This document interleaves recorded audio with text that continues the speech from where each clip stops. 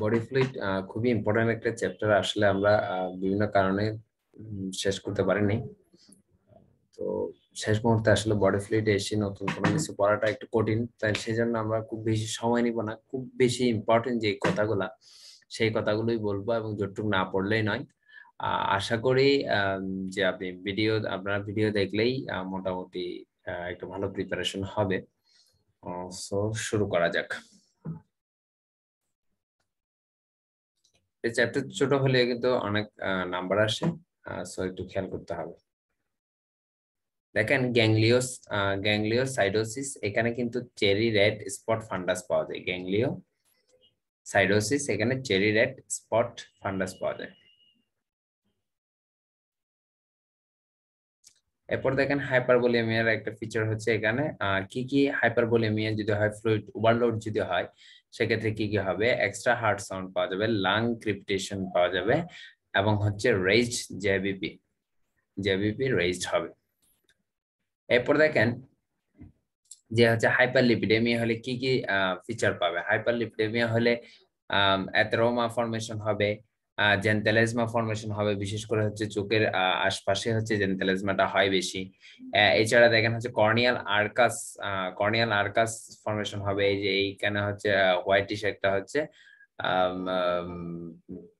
একটা মার্জিন তৈরি হয়, এটা হচ্ছে কর্নিয়াল আর্কাস তাইলে লিপিড যদি অ্যাকুমুলেশন হয় হাইপারলিপিডেমিয়া হয়, এই সব ফিচার আপনারা পাবেন অ্যাথেরোমা জেন্টেলোসমা কর্নিয়াল আর্কাস এই জিনিসগুলো ইম্পর্টেন্ট এছাড়া দেখেন হাইপারলিপিডেমিয়াতে আরও কিছু জিনিস পাওয়া যায় টেন্ডন জ্যান্তোমা পাওয়া যায় টেন্ডন জ্যান্তোমা পাওয়া যায় অ্যান্ড ইরাপটিভ জ্যান্তোমা ইরাপটিভ জ্যান্তোমা এই ফিচারগুলো পাওয়া যায়। হাইপারলিপিডেমিয়া কি কি ফিচার এগুলো লাগবে।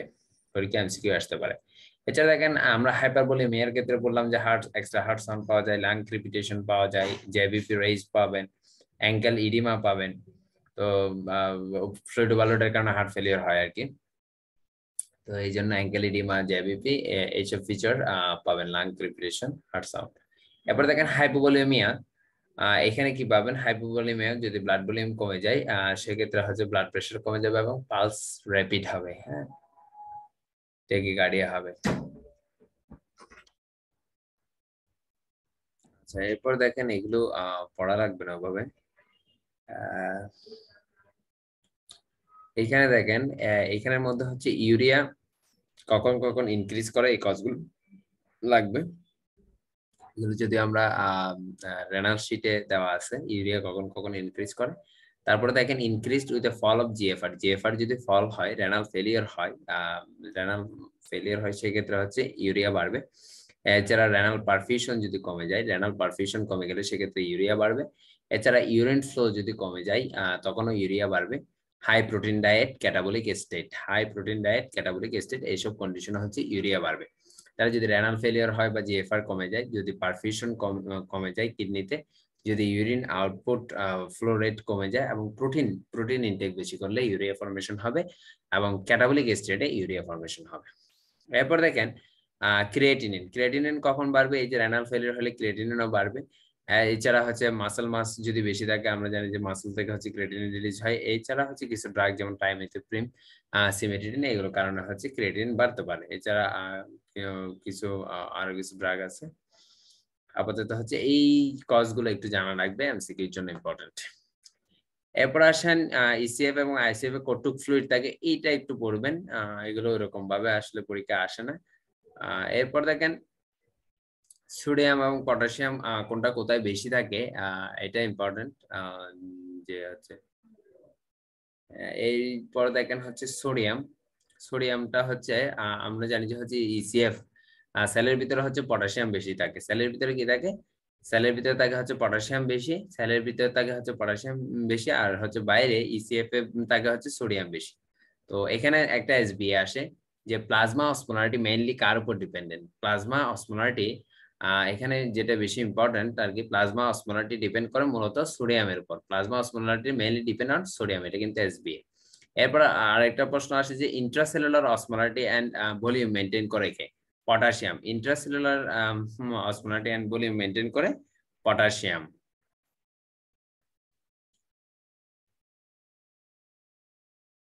ওকে তাহলে আমরা যেটা বললাম হচ্ছে সেলের ভিতর যে হচ্ছে অসমোলারিটি বা ইন্টারসেলার অসমোলারিটি বা ভলিউম সেটা মেনটেন করে, মূলত হচ্ছে পটাশিয়াম আয়ন এটা এসবিএ পরীক্ষায় আসা এবং প্লাজমা অসমোলারিটি মেনটেন করে সোডিয়াম আয়ন এরপর দেখেন হচ্ছে সোডিয়াম সব থেকে বেশি থাকে ইসিএফ এ, এটা ঠিক আছে। এরপর এখানে আর তেমন কিছু করার নাই। এরপর আসেন নর্মাল জিএফআর হচ্ছে মিনিটে হচ্ছে one twenty five M L per minute এটা আমরা র্যানাল পড়ার সময় পড়ছি এবং সারাদিনে হচ্ছে গ্লোমারুলার ফিল্ট্রেট তৈরি হয় একশো আশি লিটার। একশো আশি লিটার গ্লোমারুলার ফিল্ট্রেট তৈরি হয়। এর মধ্যে নাইনটি নাইন পার্সেন্টে হচ্ছে কি হয়ে যায়? রিঅ্যাবজর্বড হয়ে যায়। নাইনটি নাইন পার্সেন্টে হচ্ছে কি হয়? রিঅ্যাবজর্বড হয়ে যায়। এরপর দেখেন আমরা রেনাল পড়ার সময় পড়ছি প্রক্সিমাল রেনাল টিউবুল সম্পর্কে সব থেকে বেশি sixty five percent of the sodium sixty five percent of the sodium is reabsorbed uh, reabsorbed in the proximal renal tubule proximal renal হচ্ছে সবথেকে বেশি সোডিয়াম রিঅ্যাবজর্পশন হয়। সব থেকে বেশি ওয়াটার রিঅ্যাবজর্পশন হয় সব থেকে বেশি বাইকার্বনেট রিঅ্যাবজর্পশন হয় সব থেকে বেশি ক্যালসিয়াম রিঅ্যাবজর্পশন হয়। এই জিনিসগুলো আমরা রেনাল ফিজিওলজিতে পড়ছি। এরপর আসেন আরেকটা জিনিস আমরা পড়ছি যে কমপ্লিট রিঅ্যাবজর্পশন হয় glucose amino acid vitamin keto ketone এগুলো হচ্ছে কমপ্লিট রিঅ্যাবজর্পশন হয় এছাড়া হচ্ছে phosphate and other organic molecule এগুলো হচ্ছে রিঅ্যাবজর্পশন হয় এখানে।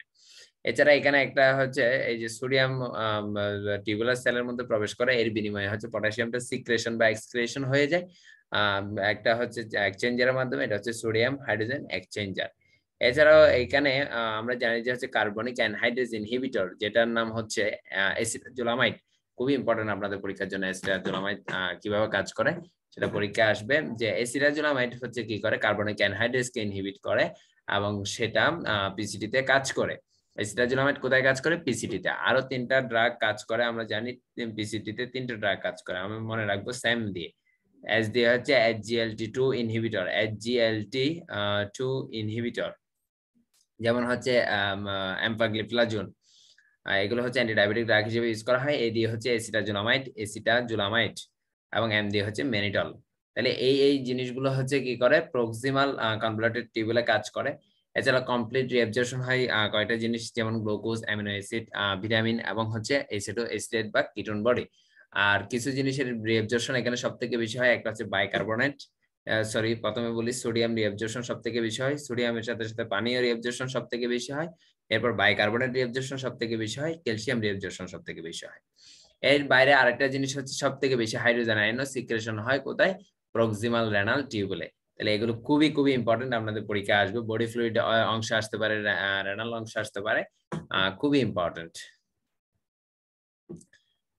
এরপর আসেন যে লোপ অফ হ্যান্ডলে আমরা জানি, এখানে আরেকটা জিনিস বলি পিসিটি পিসিটিতে হচ্ছে কি থাকে ব্রাশ বর্ডার থাকে। পরীক্ষায় এটা আসলো প্রিভিয়াসলি ব্রাশ বর্ডার কোথায় থাকে? কিডনি পিসিতে হচ্ছে ব্রাশ বর্ডার থাকে। এরপর আসেন লোপ অফ হ্যান্ডলি লোপ অফ হ্যান্ডলি থেকে হচ্ছে এই জিনিসগুলো আমরা পড়ে ফেলছি।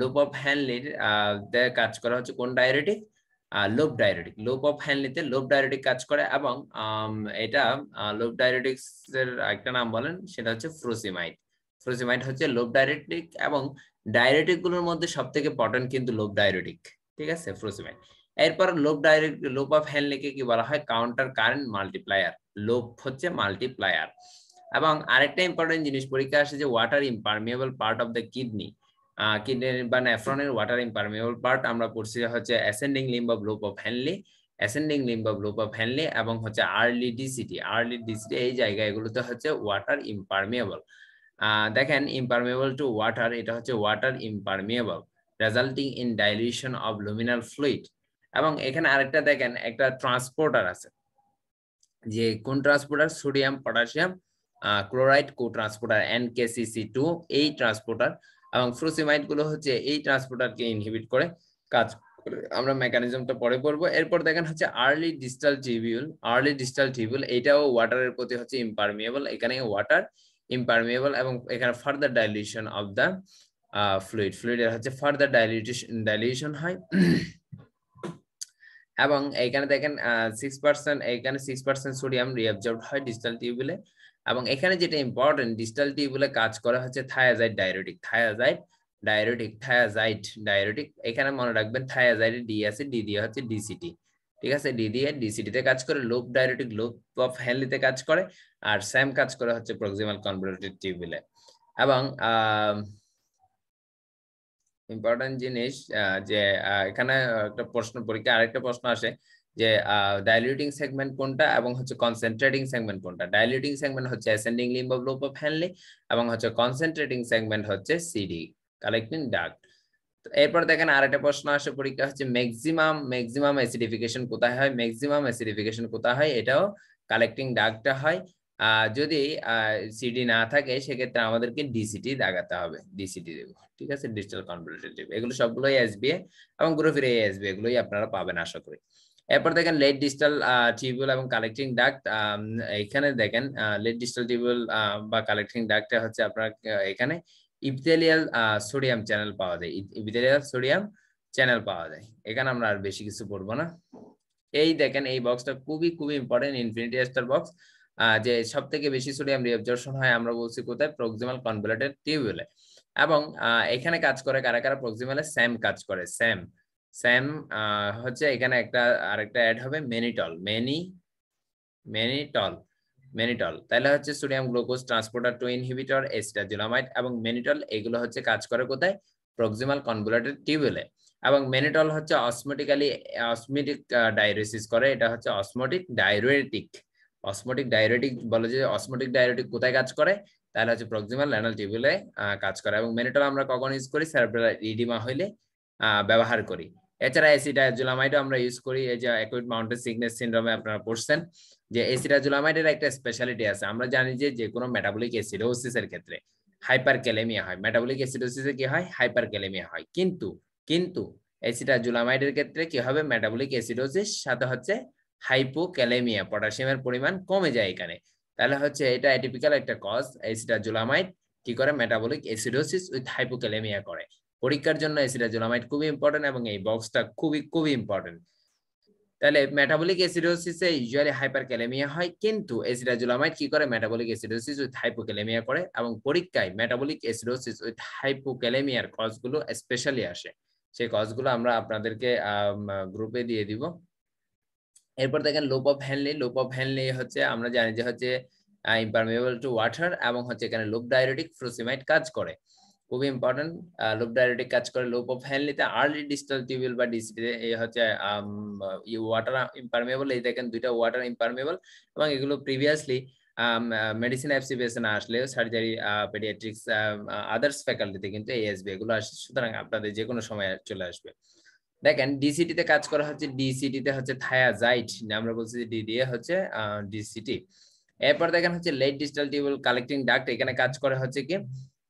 এখানে কাজ করে অ্যামাইলোরাইড এবং হচ্ছে স্পাইনোলেকট্রন এবং লেট ডিজিটাল টিউবুলে দুই ধরনের সেল থাকে, একটা হচ্ছে প্রিন্সিপাল সেল থাকে আর একটা হচ্ছে ইন্টারকালেটেড সেল থাকে। তাহলে এই যে লেট ডিজিটাল টিউবুলে কাজ করে কারা কারা? পটাশিয়াম স্পেরিং যেসব ডায়োরেটিক আছে, যেমন অ্যামাইলোরাইড স্পাইনোলেকট্রন এগুলো কাজ করে। খুবই ইম্পর্টেন্ট পরীক্ষা আসবে।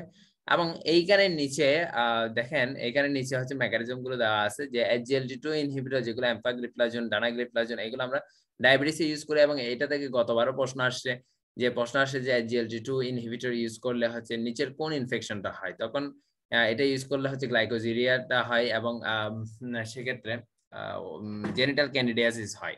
এবং এইচজিএলটি টু কোথায় কাজ করে? প্রক্সিমাল কনভোলেটিভে কাজ করে।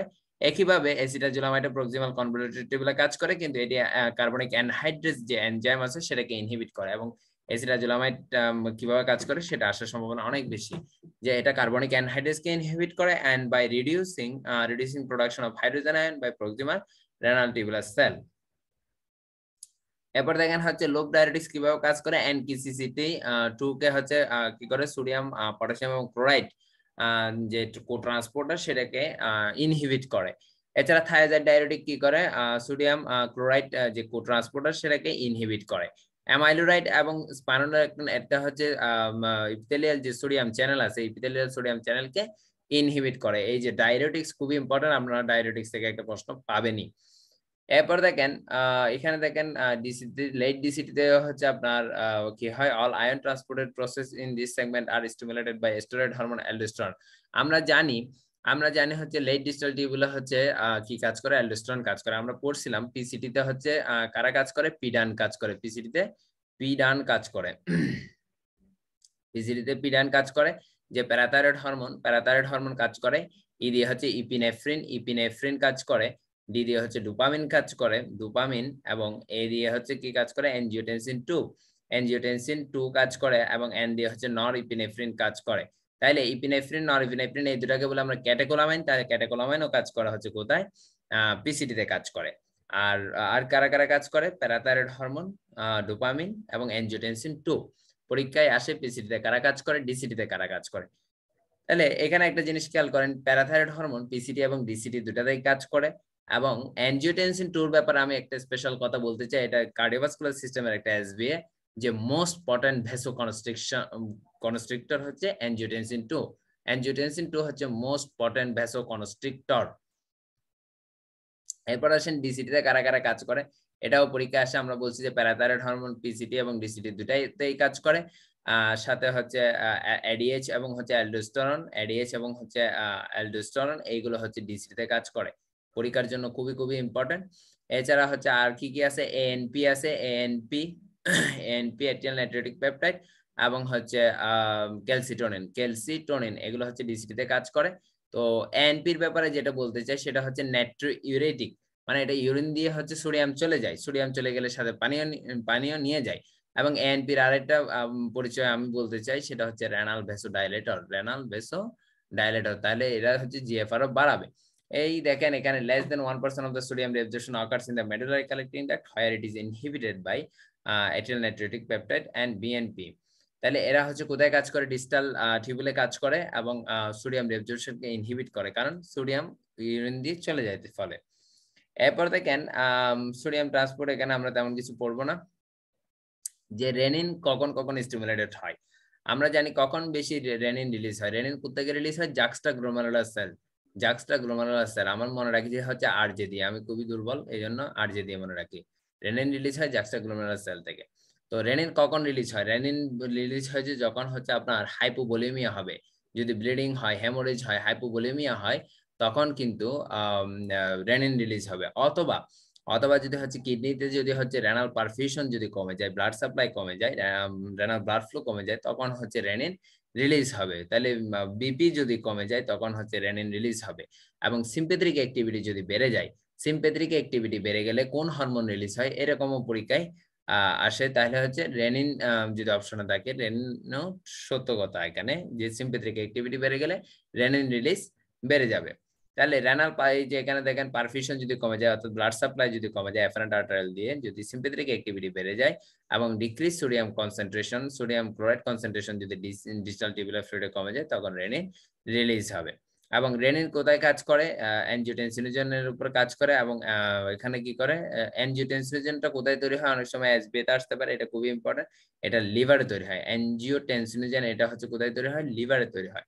তো অ্যানজিওটেনসিনোজেন থেকে অ্যানজিওটেনসিন ওয়ান তৈরি করে রেনিন এবং অ্যানজিওটেনসিন ওয়ানটা অ্যানজিওটেনসিন কনভার্টিং এনজাইমের মাধ্যমে যেটা হচ্ছে লাংসে থাকে সেটা হচ্ছে কি করে? অ্যানজিওটেনসিন ওয়ানকে অ্যানজিওটেনসিন টু তে পরিণত করে।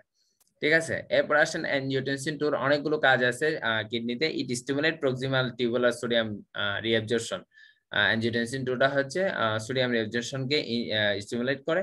পিসিটিতে এছাড়া হচ্ছে release of aldosterone from zona glomerulosa এটা হচ্ছে অ্যালডোস্টেরন সিক্রেশনকে স্টিমুলেট করে। তাহলে অ্যানজিওটেনসিন টুটা হচ্ছে প্রক্সিমাল কনভোলেটেড টিউবুলে সোডিয়াম রিঅ্যাবজর্পশনকে স্টিমুলেট করতেছে। আবার ডিসিটি থেকে জোনা গ্লোমেরুলাস থেকে হচ্ছে অ্যালডোস্টেরন রিলিজ করতেছে। এবং এটা ভ্যাসো কনস্ট্রিকশন করে। আমরা যে বলছি যে হচ্ছে অ্যানজিওটেনসিন টু হচ্ছে পাওয়ারফুল ভ্যাসো কনস্ট্রিক্টর এছাড়া হচ্ছে কি? Aldosterone amplifies sodium sodium retention sodium retention বাড়ায়।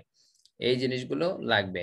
ওভারঅল হচ্ছে renin angiotensin aldosterone system activate হয়, ফলে হচ্ছে ব্লাড প্রেশার বাড়ে এবং হচ্ছে সোডিয়াম এবং ওয়াটার রিটেনশন হয়।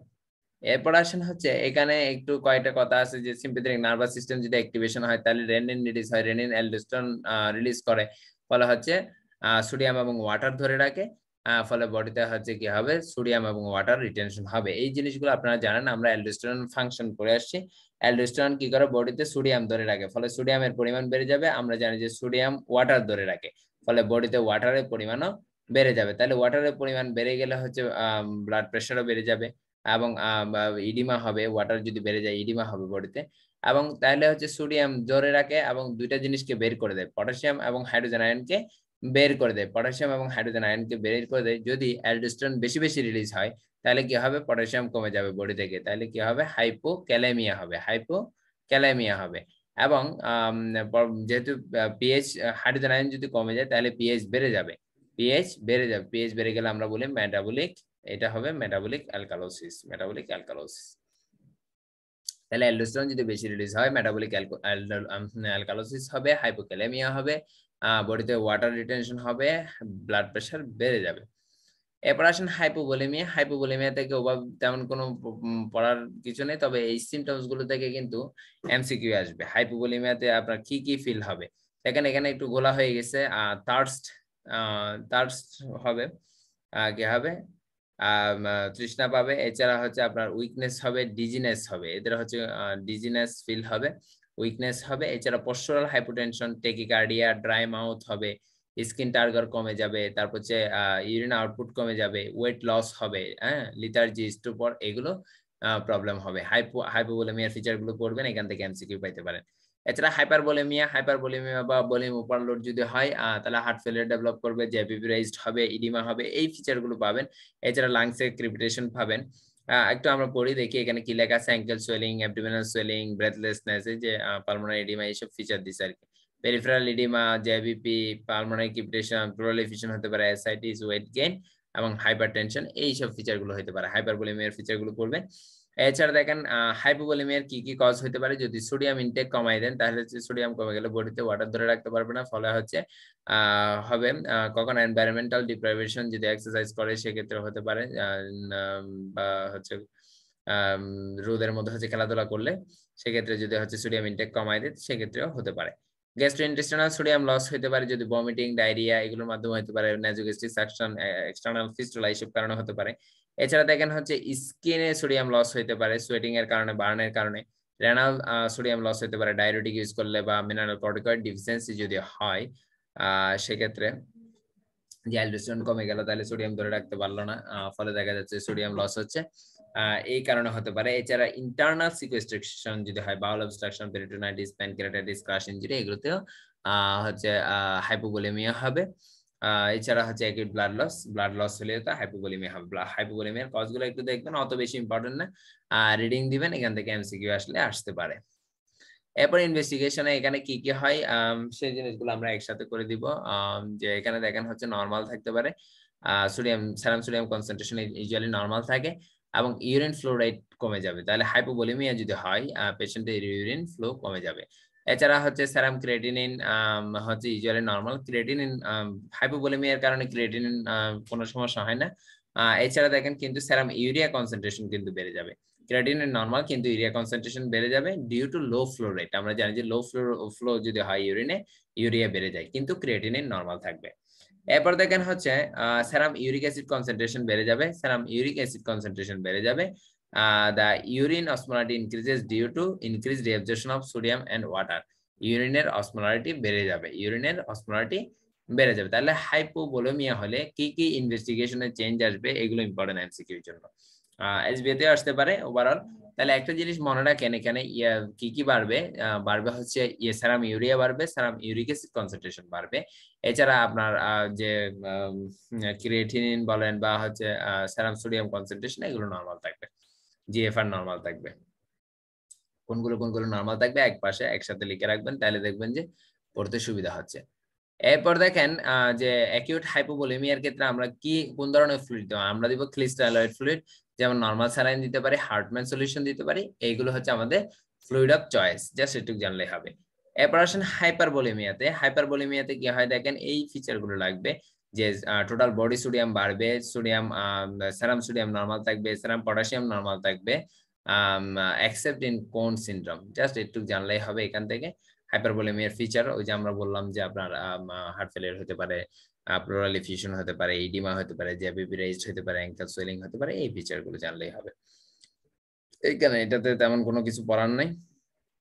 জাস্ট একটু জানতে পারেন যে নর্মাল স্যালাইনের সোডিয়াম থেকে হচ্ছে একশো চুয়ান্ন এখন এটা কেউ যদি মুখস্থ করতে পারেন সেটা ভিন্ন বিষয়। যদি এমসিকিউ আসলে আসতে পারে আদারওয়াইজ এগুলো কখনো আসে না। এই, এইখানে দেখেন হার্ডম্যান সলিউশনে এক্সট্রা কি কি আছে? পটাশিয়াম ক্যালসিয়াম এবং ল্যাকটেট আছে। পটাশিয়াম ক্যালসিয়াম এবং ল্যাকটেট আছে। এরপর দেখেন, যে সোডিয়াম অ্যান্ড ওয়াটার এক্সেসের যে কজগুলো এটা খুবই ইম্পর্টেন্ট পরীক্ষায় আসে যে প্রাইমারি হাইপারঅ্যালডোস্টেরনিজমের কজ কি? সেকেন্ডারি হাইপারঅ্যালডোস্টেরনিজমের কজ কি? এবার রেসিডেন্সি পরীক্ষায়ও আসে যে হচ্ছে আপনার সেকেন্ডারি হাইপারঅ্যালডোস্টেরনিজমের কজ কি? সেটা আসে। দেখেন সোডিয়াম এবং ওয়াটার এক্সেস বডিতে কখন হবে? যদি হচ্ছে কিডনির কোনো ডিজিজ থাকে কিডনিতে কোনো ডিজিজ থাকে তাহলে হচ্ছে মনে করেন সিকেডি হলে সেক্ষেত্রে সোডিয়াম এবং ওয়াটার রিটেনশন হবে। এরপর আসেন প্রাইমারি হাইপার অর্থাৎ আমরা জানি যে অ্যালডোস্টেরন সোডিয়াম ধরে রাখে। বডিতে সোডিয়াম ধরে রাখে, তো কোন সিনড্রোম হচ্ছে প্রাইমারি হাইপার অ্যালডোস্টেরনিজমের কজ এবং কোন সিনড্রোমে অ্যালডোস্টেরন বেশি রিলিজ হয়? ফলে বডিতে সোডিয়াম এবং ওয়াটার ধরে রাখবে। এরপর আসেন সেকেন্ডারি হাইপার অ্যালডোস্টেরনিজম এখানে দেখা যাচ্ছে যে কার্ডিয়াক আউটপুট কম, যে কারণে হচ্ছে কিডনিতে পারফিউশন কমে গেছে। হার্ট ফেলিয়ারে কি হয়? কার্ডিয়াক আউটপুট কম হয়। ফলে হচ্ছে কিডনিতে পারফিউশন কমে যায়। পারফিউশন কমে গেলে কি হবে? রেনিন রিলিজ হবে। রেনিন হচ্ছে অ্যানজিওটেনসিন কে রিলিজ করবে। পরবর্তীতে হচ্ছে অ্যালডোস্টেরন রিলিজ হবে। এই যে রাস অ্যাক্টিভেট হয়, এটা অ্যাক্টিভেশনের ফলে হচ্ছে কি হয় অ্যালডোস্টেরন যখন রিলিজ হয়, এটা সোডিয়াম সোডিয়ামকে হচ্ছে ধরে রাখে ওয়াটার ধরে রাখে, এইভাবে হচ্ছে সোডিয়াম এবং ওয়াটার অ্যাক্সেস হয়। তাহলে প্রাইমারি হাইপারঅ্যালিস্টোনিজমের কজ হচ্ছে কোন সিম্পটম এর বাইরে যে আমরা যেগুলো জানি হচ্ছে, এই যে congestive cardiac failure cirrhosis of liver nephrotic syndrome protein losing enteropathy তারপর হচ্ছে ম্যালনিউট্রিশন রেনাল আর্টারি স্টেনোসিস দেখেন কিডনিতে যদি হচ্ছে আপনার পারফিউশন কমে যায়, পরবর্তীতে হচ্ছে রেনিন রিলিজ হবে। রেনিন অ্যাঞ্জিওটেনসিন অ্যালডোস্টেরন সিস্টেমটা অ্যাক্টিভেট হবে। সেকেন্ডারি হাইপার অ্যালডোস্টেরনিজম হবে, অর্থাৎ অ্যালডোস্টেরন রিলিজ বেড়ে যাবে। ফলে পেশেন্টগুলো ইডিমেটাস হবে। তো এই সেকেন্ডারি হাইপার অ্যালডোস্টেরনিজমের কজগুলো এগুলো কোনো কঠিন কজ না সহজ কজ আপনারা ইজিলি মনে রাখতে পারবেন। এই ডিমার যে কজগুলো সেগুলাই। শুধু ব্যতিক্রম দেখেন, এগুলো হয়তো মাথায় আসবে না যে রেনাল আর্টারি স্টেনোসিস আর প্রাইমারিটা হচ্ছে কোন সিনড্রোম প্রাইমারি কোন সিনড্রোম এরপর আসেন হচ্ছে যে peripheral oedema is the most common physical sign of hypervolaemia এটা এস এসবিএতে আসতে পারে যে most common physical sign of hypervolaemia হাইপারবোলিমিয়ার most common physical sign হচ্ছে পেরিফেরাল ইডিমা পেরিফেরাল ইডিমা হচ্ছে হাইপার বোলিমিয়ার মোস্ট কমন ফিজিক্যাল সাইন এরপরে এখানে একটু রিডিং দিবেন রিডিং দিবেন অত বেশি ইম্পর্টেন্ট কিছু নাই এখানে। এরপর দেখেন হচ্ছে এখানে দেখেন ডায়ারেটিক থেরাপি খুবই খুবই important diuretic therapy infinity star আপনাদের এসবি আসতে পারে। যে কার্বনিক অ্যানহাইড্রেস সম্পর্কে আমরা অলরেডি বলে ফেলছি কার্বনিক অ্যানহাইড্রেস যে ইনহিবিটর বা এস্ট্রাজোলামাইড হচ্ছে কার্বনিক অ্যানহাইড্রেস ইনহিবিটর পরীক্ষা আসতে পারে যে কার্বনিক অ্যানহাইড্রেস ইনহিবিটর কোনটি? এবং এটার আরেকটা ইম্পর্টেন্ট যে জিনিস আমরা বলছি যে এটা কি করে? মেটাবলিক অ্যাসিডোসিস উইথ হাইপোক্যালেমিয়া করে। এটা ব্যতিক্রম। কারণ অন্যান্য ক্ষেত্রে দেখা যায় যে মেটাবলিক অ্যাসিডোসিসের সাথে হাইপার ক্যালেমিয়া হয়, কিন্তু এখানে হাইপোক্যালেমিয়া হয়। এবং দেখেন সোডিয়াম গ্লুকোজ ট্রান্সপোর্টার টু যে অ্যাম্পাগ্লিপ্লাজন ডাপাগ্লিপ্লাজন এবং হচ্ছে ক্যানাগ্লিপ্লাজন এগুলো কি করে? গ্লুকোজ এবং সোডিয়াম রিঅ্যাবজর্পশন করতে দেয় না প্রক্সিমাল টিউবুলে আমরা জানি যে এটা প্রক্সিমাল টিউবুলে কাজ করে। সোডিয়াম এবং গ্লুকোজ যদি রিঅ্যাবজর্পশন না হয় তাহলে হচ্ছে ইউরিন দিয়ে চলে যাবে গ্লাইকোজ ইউরিয়া হবে। এই যে গ্লুকোজ যে যাচ্ছে, সেক্ষেত্রে কি হবে? এটা হচ্ছে ক্যান্ডিডিয়াসিস ইনফেকশন একটা ইনফেকশনের সোর্স হিসেবে কাজ করবে এখানে। ইনফেকশন হবে কি হয়? জেনিটাল ক্যান্ডিডিয়াসিস হয়। তাহলে এজিএলডি টুটা আমরা মূলত হচ্ছে কোথায়? ডায়াবেটিসে ইউজ করি এবং খুবই ইম্পর্টেন্ট কোথায় কাজ করে? কোন ডায়াবেটিক কোথায় কাজ করে এবং কোন মেকানিজমে কাজ করে? এটা ইম্পর্টেন্ট যে লোভ ডায়াবেটিক্স এর মধ্যে অন্যতম হচ্ছে ফ্রোসিমাইট এটা কি করে? সোডিয়াম সোডিয়াম পটাশিয়াম এবং হচ্ছে টু ক্লোরাইড কো ট্রান্সপোর্টার যেটা আছে সেটাকে হচ্ছে ইনহিবিট করে এবং এটা ascending limb of loop of হ্যান্ডলিতে কাজ করে। এগুলো আমরা অলরেডি বলে ফেলছি। থাইরয়েড ডায়াবেটিক্স হচ্ছে কোথায় কাজ করে? ডিজিটাল টিউবুলে কাজ করে। আর সোডিয়াম ক্লোরাইড কো ট্রান্সপোর্টারকে ইনহিবিট করে তারপর হচ্ছে পটাশিয়াম স্পেরিংগুলো হচ্ছে ডিজিটাল লেট ডিজিটালে কাজ করে কালেক্টিং ডাক্টে কাজ করে। এরা কীভাবে কাজ করে? এপিক্যাল সোডিয়াম চ্যানেলকে হচ্ছে ইনহিবিট করে। এই কথাগুলো আমরা বলে ফেলেছি। এরপর দেখেন অসমোটিক্যাল অসমোটিক ডায়ারেটিক্স খুব ইম্পর্টেন্ট মেনিটাল হচ্ছে most commonly used osmotic diuretic এটাও পিসিটিতে কাজ করে সেরেব্রাল এডিমাতে আমরা ইউজ করি এটাও খুব ইম্পর্টেন্ট এরপর দেখেন এটা ইনফিনিটি এস্টার বক্স যে হচ্ছে কি বলে ডায়ারেটিক্সগুলো ইউজ করলে আমরা কি কি অ্যাডভার্স ইফেক্ট পাওয়া যায়? মোটামুটি সবগুলো অ্যাডভার্স ইফেক্ট সেমই দেখেন হাইপোভোলেমিয়া হবে হাইপোনেট্রেমিয়া হাইপোক্যালেমিয়া হবে। এবং হাইপোম্যাগনেসিয়ামিয়া হবে। এরপর আসেন হাইপার কি কি হবে? হাইপার ইউরেসিমিয়া গাউট করতে পারে। বিশেষ করে হচ্ছে থাইরয়েড লুপ ডায়াবেটিক্স দুটাই করতে পারে। এটা কমনগুলো দেওয়া আছে, যেটা যেটা আলাদা, সেটা উল্লেখ আছে। তাহলে থাইরয়েড ডায়াবেটিক্স লুপ ডায়াবেটিক্স এগুলো হচ্ছে গাউট করতে পারে হাইপার ইউরেসিমিয়া করতে পারে। এছাড়া হচ্ছে হাইপার ক্যালসিউরিয়া করা হচ্ছে লুপ ডায়াবেটিক্স যেহেতু ক্যালসিয়াম বেশি চলে যাচ্ছে লুপ ডায়াবেটিক্স দিলে, তাহলে ব্লাডে ক্যালসিয়াম কিন্তু কমে যাবে। তাহলে ইউরিন দিয়ে যদি বেশি চলে যায় ব্লাডে হচ্ছে ক্যালসিয়াম কমে যাবে। আবার থায়াজাইড ডায়াবেটিক কিন্তু হাইপোক্যালসিউরিয়া করে, ফলে ব্লাডে ক্যালসিয়ামের পরিমাণ বাড়াই দিবে। এবং এটা কিন্তু আমরা হাইপার ক্যালসিয়ামের কজের মধ্যে থায়াজাইড ডায়াবেটিক্স করছি। তাইলে এই দুইটা বাদে থায়াজাইড হচ্ছে ব্লাডে ক্যালসিয়াম বাড়ায় ইউরিন দিয়ে ক্যালসিয়াম যাওয়াটা কমায় হাইপোক্যালসিউরিয়া করে। আর যেটা লোভ ডায়াবেটিক্স সেটা বেশি বেশি করে ক্যালসিয়াম ইউরিন দিয়ে পাস করে দেয়, ফলে ব্লাডেও ক্যালসিয়াম কমে যাবে হাইপোক্যালসিয়ামিয়া করে। জাস্ট এই আলাদা, বাকিগুলো সেম এছাড়া দেখেন মেটাবলিক অ্যালকালোসিস করে খুবই খুবই ইম্পর্টেন্ট এখান থেকে আপনারা প্রশ্ন পাবেন। এসবিএ এমসিকিউ দুইটাই পেতে পারে এরপর দেখেন হচ্ছে মেটাবলিক কি কি সাইড ইফেক্ট হবে? গ্লুকোজ ইনটলারেন্স বা হচ্ছে হাইপার গ্লাইসেমিয়া করে। গ্লুকোজ ইনটলারেন্স গ্লুকোজ ইনটলারেন্স বা হাইপার গ্লাইসেমিয়া করে। বিশেষ করে হচ্ছে থাইরয়েড ডায়াবেটিক করে ডায়াবেটিস করে। এছাড়া হচ্ছে হাইপার লিপিডেমিয়া করে। হাইপার লিপিডেমিয়া করে। হাইপার লিপিডেমিয়া করে। এছাড়া আর কি কি প্রবলেম হতে পারে দেখেন যে hypersensitive reaction erectile dysfunction হতে পারে ইরেকটাইল ডিসফাংশন তাহলে এই যে ফিচারগুলো, এগুলো খুবই খুবই ইম্পর্টেন্ট এখান থেকে আপনারা প্রশ্ন পাবেন। মানে ডায়াবেটিক্স খুবই ইম্পর্টেন্ট আপনাদের অ্যাডভার্স ইফেক্ট সব করতে হবে। এছাড়া থাইজার ডায়াবেটিক্স আরেকটা স্পেশাল কাজ করে, সেটা হচ্ছে অ্যাকিউট প্যানক্রিয়াটাইটিস বা অ্যাকিউট কোলেসিস্টাইটিস করে। খুবই ইম্পর্টেন্ট থাইজার ডায়াবেটিক তাহলে ব্লাডে ক্যালসিয়াম বাড়ায় ইউরিন দিয়ে ক্যালসিয়াম যাওয়াটাকে কমায় এবং অ্যাকিউট কোলেসিস্টাইটিস প্যানক্রিয়াটাইটিস এগুলো করে। ইনফিনিটি স্টার এটা খুব ভালো করে পড়বেন। এরপর দেখেন ওয়াটার হোমিওস্টেসিস যে ইনসেন্সিবল লস কতটুক হয়, এটা একটু পড়বেন। ইনসেন্সিবল লস যে স্কিন এবং রেসপিরেটরি ট্র্যাক্টের মাধ্যমে যে পরিমাণ হচ্ছে ওয়াটার লস হয়, সেটা হচ্ছে ইনসেন্সিবল ওয়াটার লস যেহেতু পরীক্ষা খুব কাছে এই জন্য আমরা খুব ডিটেলস কোনো কিছু বলতেছি না। যেগুলো খুব বেশি ইম্পর্টেন্ট সেগুলো নিয়ে একটু বেশি আলোচনা করব। এই যে এখানে হচ্ছে কোনটা কনসেন্ট্রেটিভ কোনটা ডাইলেটিং সেই জিনিসগুলো আমরা বলে ফেলছি। এখানে আপাতত আমরা বুঝতে যাব না সেই জিনিসগুলো। আপাতত আমরা পরীক্ষায় পারলেই হবে। মেকানিজম বুঝে এখন লাভ নাই। এরপর দেখেন হাইপোনেট্রেমিয়া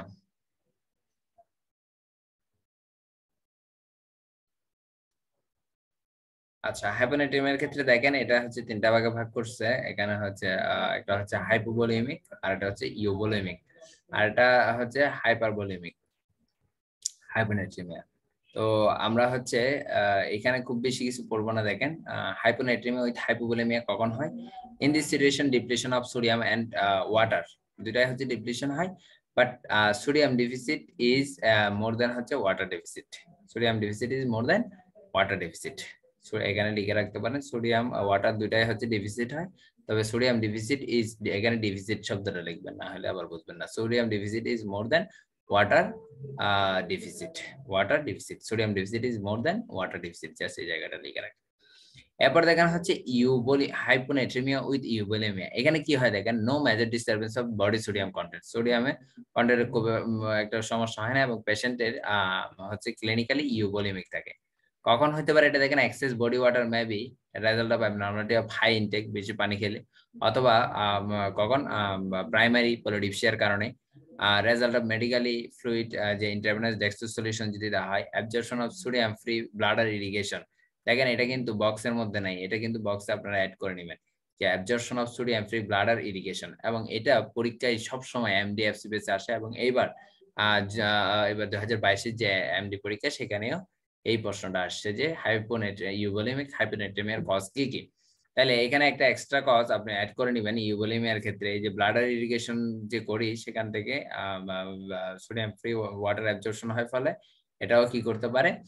হাইপোনেট্রেমিয়া উইথ ইউবোলিমিয়া করতে পারে। হাইপোনেট্রেমিয়া উইথ ইউবোলিমিয়া যে এটা প্রিভিয়াসলি এফসিবিএস বেশ কয়েকবার আসছে ইউবোলিমিক হাইপোনেট্রেমিয়ার কজ এটা খুবই ইম্পর্টেন্ট এই জন্যই এটা সবার আগে পড়ব আমরা। দেখেন প্রাইমারি পোলিডিপসিয়া কেউ যদি বেশি বেশি পানি খায় প্রাইমারি পোলিডিপসিয়া পানি বেশি খেলে সেক্ষেত্রে ইউবোলিমিক হাইপোনেট্রিমিয়া হবে। এছাড়া এক্সেসিভ ইলেকট্রোলাইট ফ্রি ওয়াটার, যদি ইলেকট্রোলাইট ফ্রি ওয়াটার যদি দেওয়া হয় মনে করেন হচ্ছে ডিএ স্যালাইন দিল সেক্ষেত্রে সেক্ষেত্রে দেখা যাবে যে বেশি যদি ডিএ স্যালাইন দিয়ে, তাও ইউবোলিমিক হাইপোনেট্রিমিয়া হবে। এছাড়া হচ্ছে SIADH syndrome of inappropriate ADH secretion ADH যদি বেশি সিক্রেশন হয়, সেক্ষেত্রে ইউবোলেমিক হাইপোনেট্রিমিয়া হবে। আমরা জানি যে অ্যাডিএস বেশি বেশি করে পানি ধরে রাখে। পানি ধরে রাখলে কি হবে? ওই যে সোডিয়াম কন্টেন্টটা তখন ওই পানি বেশি হওয়ার কারণে হাইপোনেট্রিমিয়া হয়ে যাবে। এরপর দেখেন হাইপোথাইরয়েডিজম এখানে ইউবোলেমিক হাইপোনেট্রিমিয়া হয়। এইগুলো হচ্ছে ঝাড়া মুখস্থ করে ফেলতে হবে। কোনটাতে কোনটাতে হয়? আপাতত আপাতত। মেকানিজম বোঝানোর সময় নেই। পরীক্ষা নকিং এট দ্য ডোর এরপর দেখেন হাইপারবোলেমিক হাইপোনেট্রিমিয়া হাইপারবোলেমিক হাইপোনেট্রিমিয়া কোথায় হয়? যে এডিমার কজগুলো দেখেন। Congestive cardiac failure cirrhosis of the liver তারপর হচ্ছে নেফ্রোটিক সিনড্রোম এবং হচ্ছে ক্রনিক কিডনি ডিজিজ এগুলো তো বডিতে পানির পরিমাণ বেশি হাইপারবোলেমিক হাইপোনেট্রিমিয়া হয়। তাহলে ইউবোলেমিক খুবই খুবই ইম্পর্টেন্ট এইগুলো ইম্পর্টেন্ট হাইপারবোলেমিকগুলো আপনারা পারেন ইডিমা হয় যে কজগুলো সেগুলো বডিতে পানি বেশি।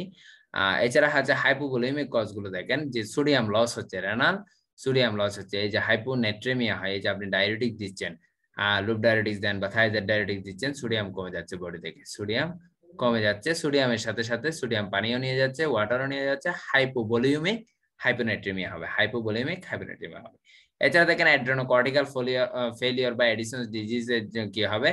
যে অ্যালডোস্টেরন কমে যায়। অ্যালডোস্টেরন কমে গেলে হচ্ছে কি হয়? আমরা জানি যে অ্যালডোস্টেরন সোডিয়াম ধরে রাখতো। তো অ্যালডোস্টেরন যখন কমে গেছে সোডিয়াম আর ধরে রাখতে পারতেছে না। ফলে হচ্ছে কিডনি দিয়ে হচ্ছে সোডিয়াম বের হয়ে যাচ্ছে সোডিয়াম পানিও নিয়ে যাচ্ছে। ফলে পানিও কমে গেলে হচ্ছে হাইপোভলিমিক হচ্ছে সোডিয়াম কমে যাওয়ার জন্য হাইপোনেট্রিমিয়া হচ্ছে। এরপর দেখেন জিআইডি তে সোডিয়াম লস হতে পারে। যদি বমি করে বা ডায়রিয়া হয়, তখন হচ্ছে হাইপোনেট্রিমিয়া হয়। তো সোডিয়াম চলে যাওয়ার কারণে দেখা যাচ্ছে হাইপোভলিমিয়া হয়। এছাড়া স্কিনেও সোডিয়াম লস হতে পারে যদি বার্ন হয়। খুবই ইজি এই জিনিসগুলো বুঝলে একেবারেই ইজি কোনটার কারণে হাইপোভলিমিয়া হাইপারভলিমিয়া ইউভলিমিয়া খুবই ইজি ঠিক আছে, আশা করি আপনাদের কারোর ভুল হবে না। পারবেন, এটা খুবই ইনফিনিটি স্টার বক্স ইউভলিমিক কজটা বেশি পারতে হবে। এরপর দেখেন এখানে হচ্ছে যে সোডিয়ামের কনসেন্ট্রেশনটা ব্লাডে কত থেকে কত থাকে সেটা আমাদেরকে জানতে হবে। যদি হচ্ছে এখন হাইপোনেটিয়ামে যদি আটচল্লিশ ঘণ্টার মধ্যে যদি ডেভেলপ করে, সেটাকে বলে আমরা একিউট হাইপোনেট্রিমিয়া আর যদি অনেকক্ষণ ধরে ডেভেলপ করে, যে আটচল্লিশ ঘণ্টার বেশি সময় ধরে, সেটাকে বলে আমরা হচ্ছে ক্রনিক হাইপোনেট্রিমিয়া তো আবার হচ্ছে লেভেল অনুযায়ী আমরা দুই ভাগ, তিন ভাগ এটাকে তিন ভাগে ভাগ করতে পারি। একটা হচ্ছে মাইল্ড যদি একশো তিরিশ থেকে একশো পঁয়ত্রিশের মধ্যে থাকে, এটাকে মাইল্ড বলি, আর একশো পঁচিশ থেকে উনত্রিশ থাকলে সেটাকে মডারেট বলি, এবং একশো চব্বিশের যদি কম হয়, সেটাকে বলি সিভিয়ার তো এখানে আমরা জানি যে মাইল্ড হলে সেক্ষেত্রে আমরা নর্মাল যে টেবল সল্ট টেবল সল্ট খাইতে দিব পেশেন্টকে আর যদি মডারেট হয় সেক্ষেত্রে হচ্ছে নর্মাল স্যালাইন দিব নর্মাল স্যালাইন দিব জিরো পয়েন্ট নাইন পার্সেন্ট এবং হচ্ছে যদি হচ্ছে সিভিয়ার হয় সেক্ষেত্রে আমরা হচ্ছে থ্রি পার্সেন্ট এনএসিএল দিব। এখন থ্রি পার্সেন্ট এনএসিএল দেওয়ার আগে আমাকে এটা বুঝতে হবে যে এটা কি একিউট না ক্রনিক অ্যাকিউট হলে আমরা হচ্ছে র্যাপিডলি কারেকশন করতে পারব। অ্যাকিউট হলে আমরা র্যাপিডলি কারেকশন করতে পারব। আর যদি হচ্ছে ক্রনিক হয়, তাহলে আমাকে স্লোলি কারেকশন করতে হবে। তো যদি ক্রনিক ক্রনিক হাইপোনেটেমে আমরা যদি র্যাপিডলি কারেকশন করতে যাই তখন কি হবে? পন্টাইন ডিমায়োলিনেশন হবে। ক্রনিক হাইপোনেট্রেমিয়া যদি আমরা র্যাপিডলি কারেকশন করতে চাই তাহলে হচ্ছে পন্টাইন ডিমায়োলিনেশন হবে। এটা খুব ইম্পর্টেন্ট তাহলে এই জায়গাটুকু থেকে একটু জানলেই হবে। এরপর আসেন SIADH syndrome of inappropriate ADH secretion আমরা জানি যে অ্যাডিএস কি করে? অ্যাডিএস হচ্ছে পানি ধরে রাখে। অ্যাডিএস কখন রিলিজ হয়? যখন আমার বডিতে পানি কমে যাচ্ছে। বডিতে পানি কমে যাচ্ছে, তখন কিন্তু অ্যাডিএস রিলিজ হবে। অ্যাডিএস রিলিজ হয়ে কি করবে? এটা পানিকে ধরে রাখবে। এটার নাম হচ্ছে অ্যান্টি ডাই ইউরেটিক হরমোন অর্থাৎ ইউরিন ফরমেশনটাকে এটা কমাই দিবে। ইউরিন ফরমেশন আমার যখন বডিতে হচ্ছে পানি হাইপোবোলেমিয়া বা আপনার হচ্ছে হেমোরেজ হচ্ছে, তখন এটা কি করে অ্যাডিএস বেশি বেশি রিলিজ হবে এবং বেশি করে হচ্ছে ওয়াটার বডিতে ধরে রাখবে এবং ফলে কনসেন্ট্রেটেড ইউরিন ফরমেশন হবে। কনসেন্ট্রেটেড ইউরিন ফরমেশন হলে ইউরিনের অসমোলারিটি বেড়ে যাবে। আর যদি হচ্ছে ব্লাডে যেহেতু পানি ধরে রাখছে সোডিয়ামের তুলনায় পানির পরিমাণ বেড়ে যাচ্ছে, তখন হচ্ছে কি হবে ব্লাডের বা প্লাজমা অসমোলারিটি কমে যাবে। কজগুলো একটা সংক্ষেপে মনে রাখা যায়। যেমন হচ্ছে কোনো টিউমার যদি হয়, যদি সিএনএস ইনফেকশন বা সিএনএস কোনো ডিজিজ হয়, এছাড়া হচ্ছে পালমোনারি ইনফেকশন যদি হয়, এছাড়া কিছু ড্রাগ আছে, এই ড্রাগগুলো ইম্পর্টেন্ট এখান থেকে কিন্তু এবার এমডি তে প্রশ্ন আসে। এমডি তে এখান থেকে প্রশ্ন আসে। দেখেন যে anticonvulsant drug antipsychotic antidepressant anticonvulsant antipsychotic antidepressant পরীক্ষায় একটা এসবি আসলো এফসিপিএস মেডিসিনে যে হচ্ছে একটা অ্যান্টি কনভালসেন্ট ড্রাগ তাহলে এটা একটা এসবিআর ছিল এফসিপিএস মেডিসিনে যে অ্যান্টি কনভালসেন্ট ড্রাগ কোন ড্রাগটা দেওয়ার পরে হচ্ছে আপনার সিআর ডেভেলপ করছে মানে সিনারি দিছে যে অ্যান্টি কনভালশন হচ্ছে তাকে এই একটা ড্রাগ দিল ড্রাগ দেওয়ার পর সোডিয়াম কনসেন্ট্রেশন এরকম, কোন ড্রাগটা রেসপন্সিবল তাহলে অ্যান্টি কনভালসেন্ট ড্রাগ যেমন কার্বামাজেপিন কার্বামাজেপিন এটা হচ্ছে আপনার কি করবে? অ্যাডিএস সিক্রেশনটাকে বাড়াই দিবে। Syndrome of inappropriate ADH secretion এরপর দেখেন হচ্ছে psychotropic antipsychotic drug antidepression drug cytotoxic drug oral hypoglycaemic drug তারপর হচ্ছে ওপিয়েটস তো এখন আমরা যে হচ্ছে আপনার এই এই যে ডায়াবেটিস ইনসিপিটাস এর ক্ষেত্রে একটা ড্রাগ ইউজ করছিলাম। কি ড্রাগ ইউজ করছিলাম আই যে এডিএস অ্যানালগ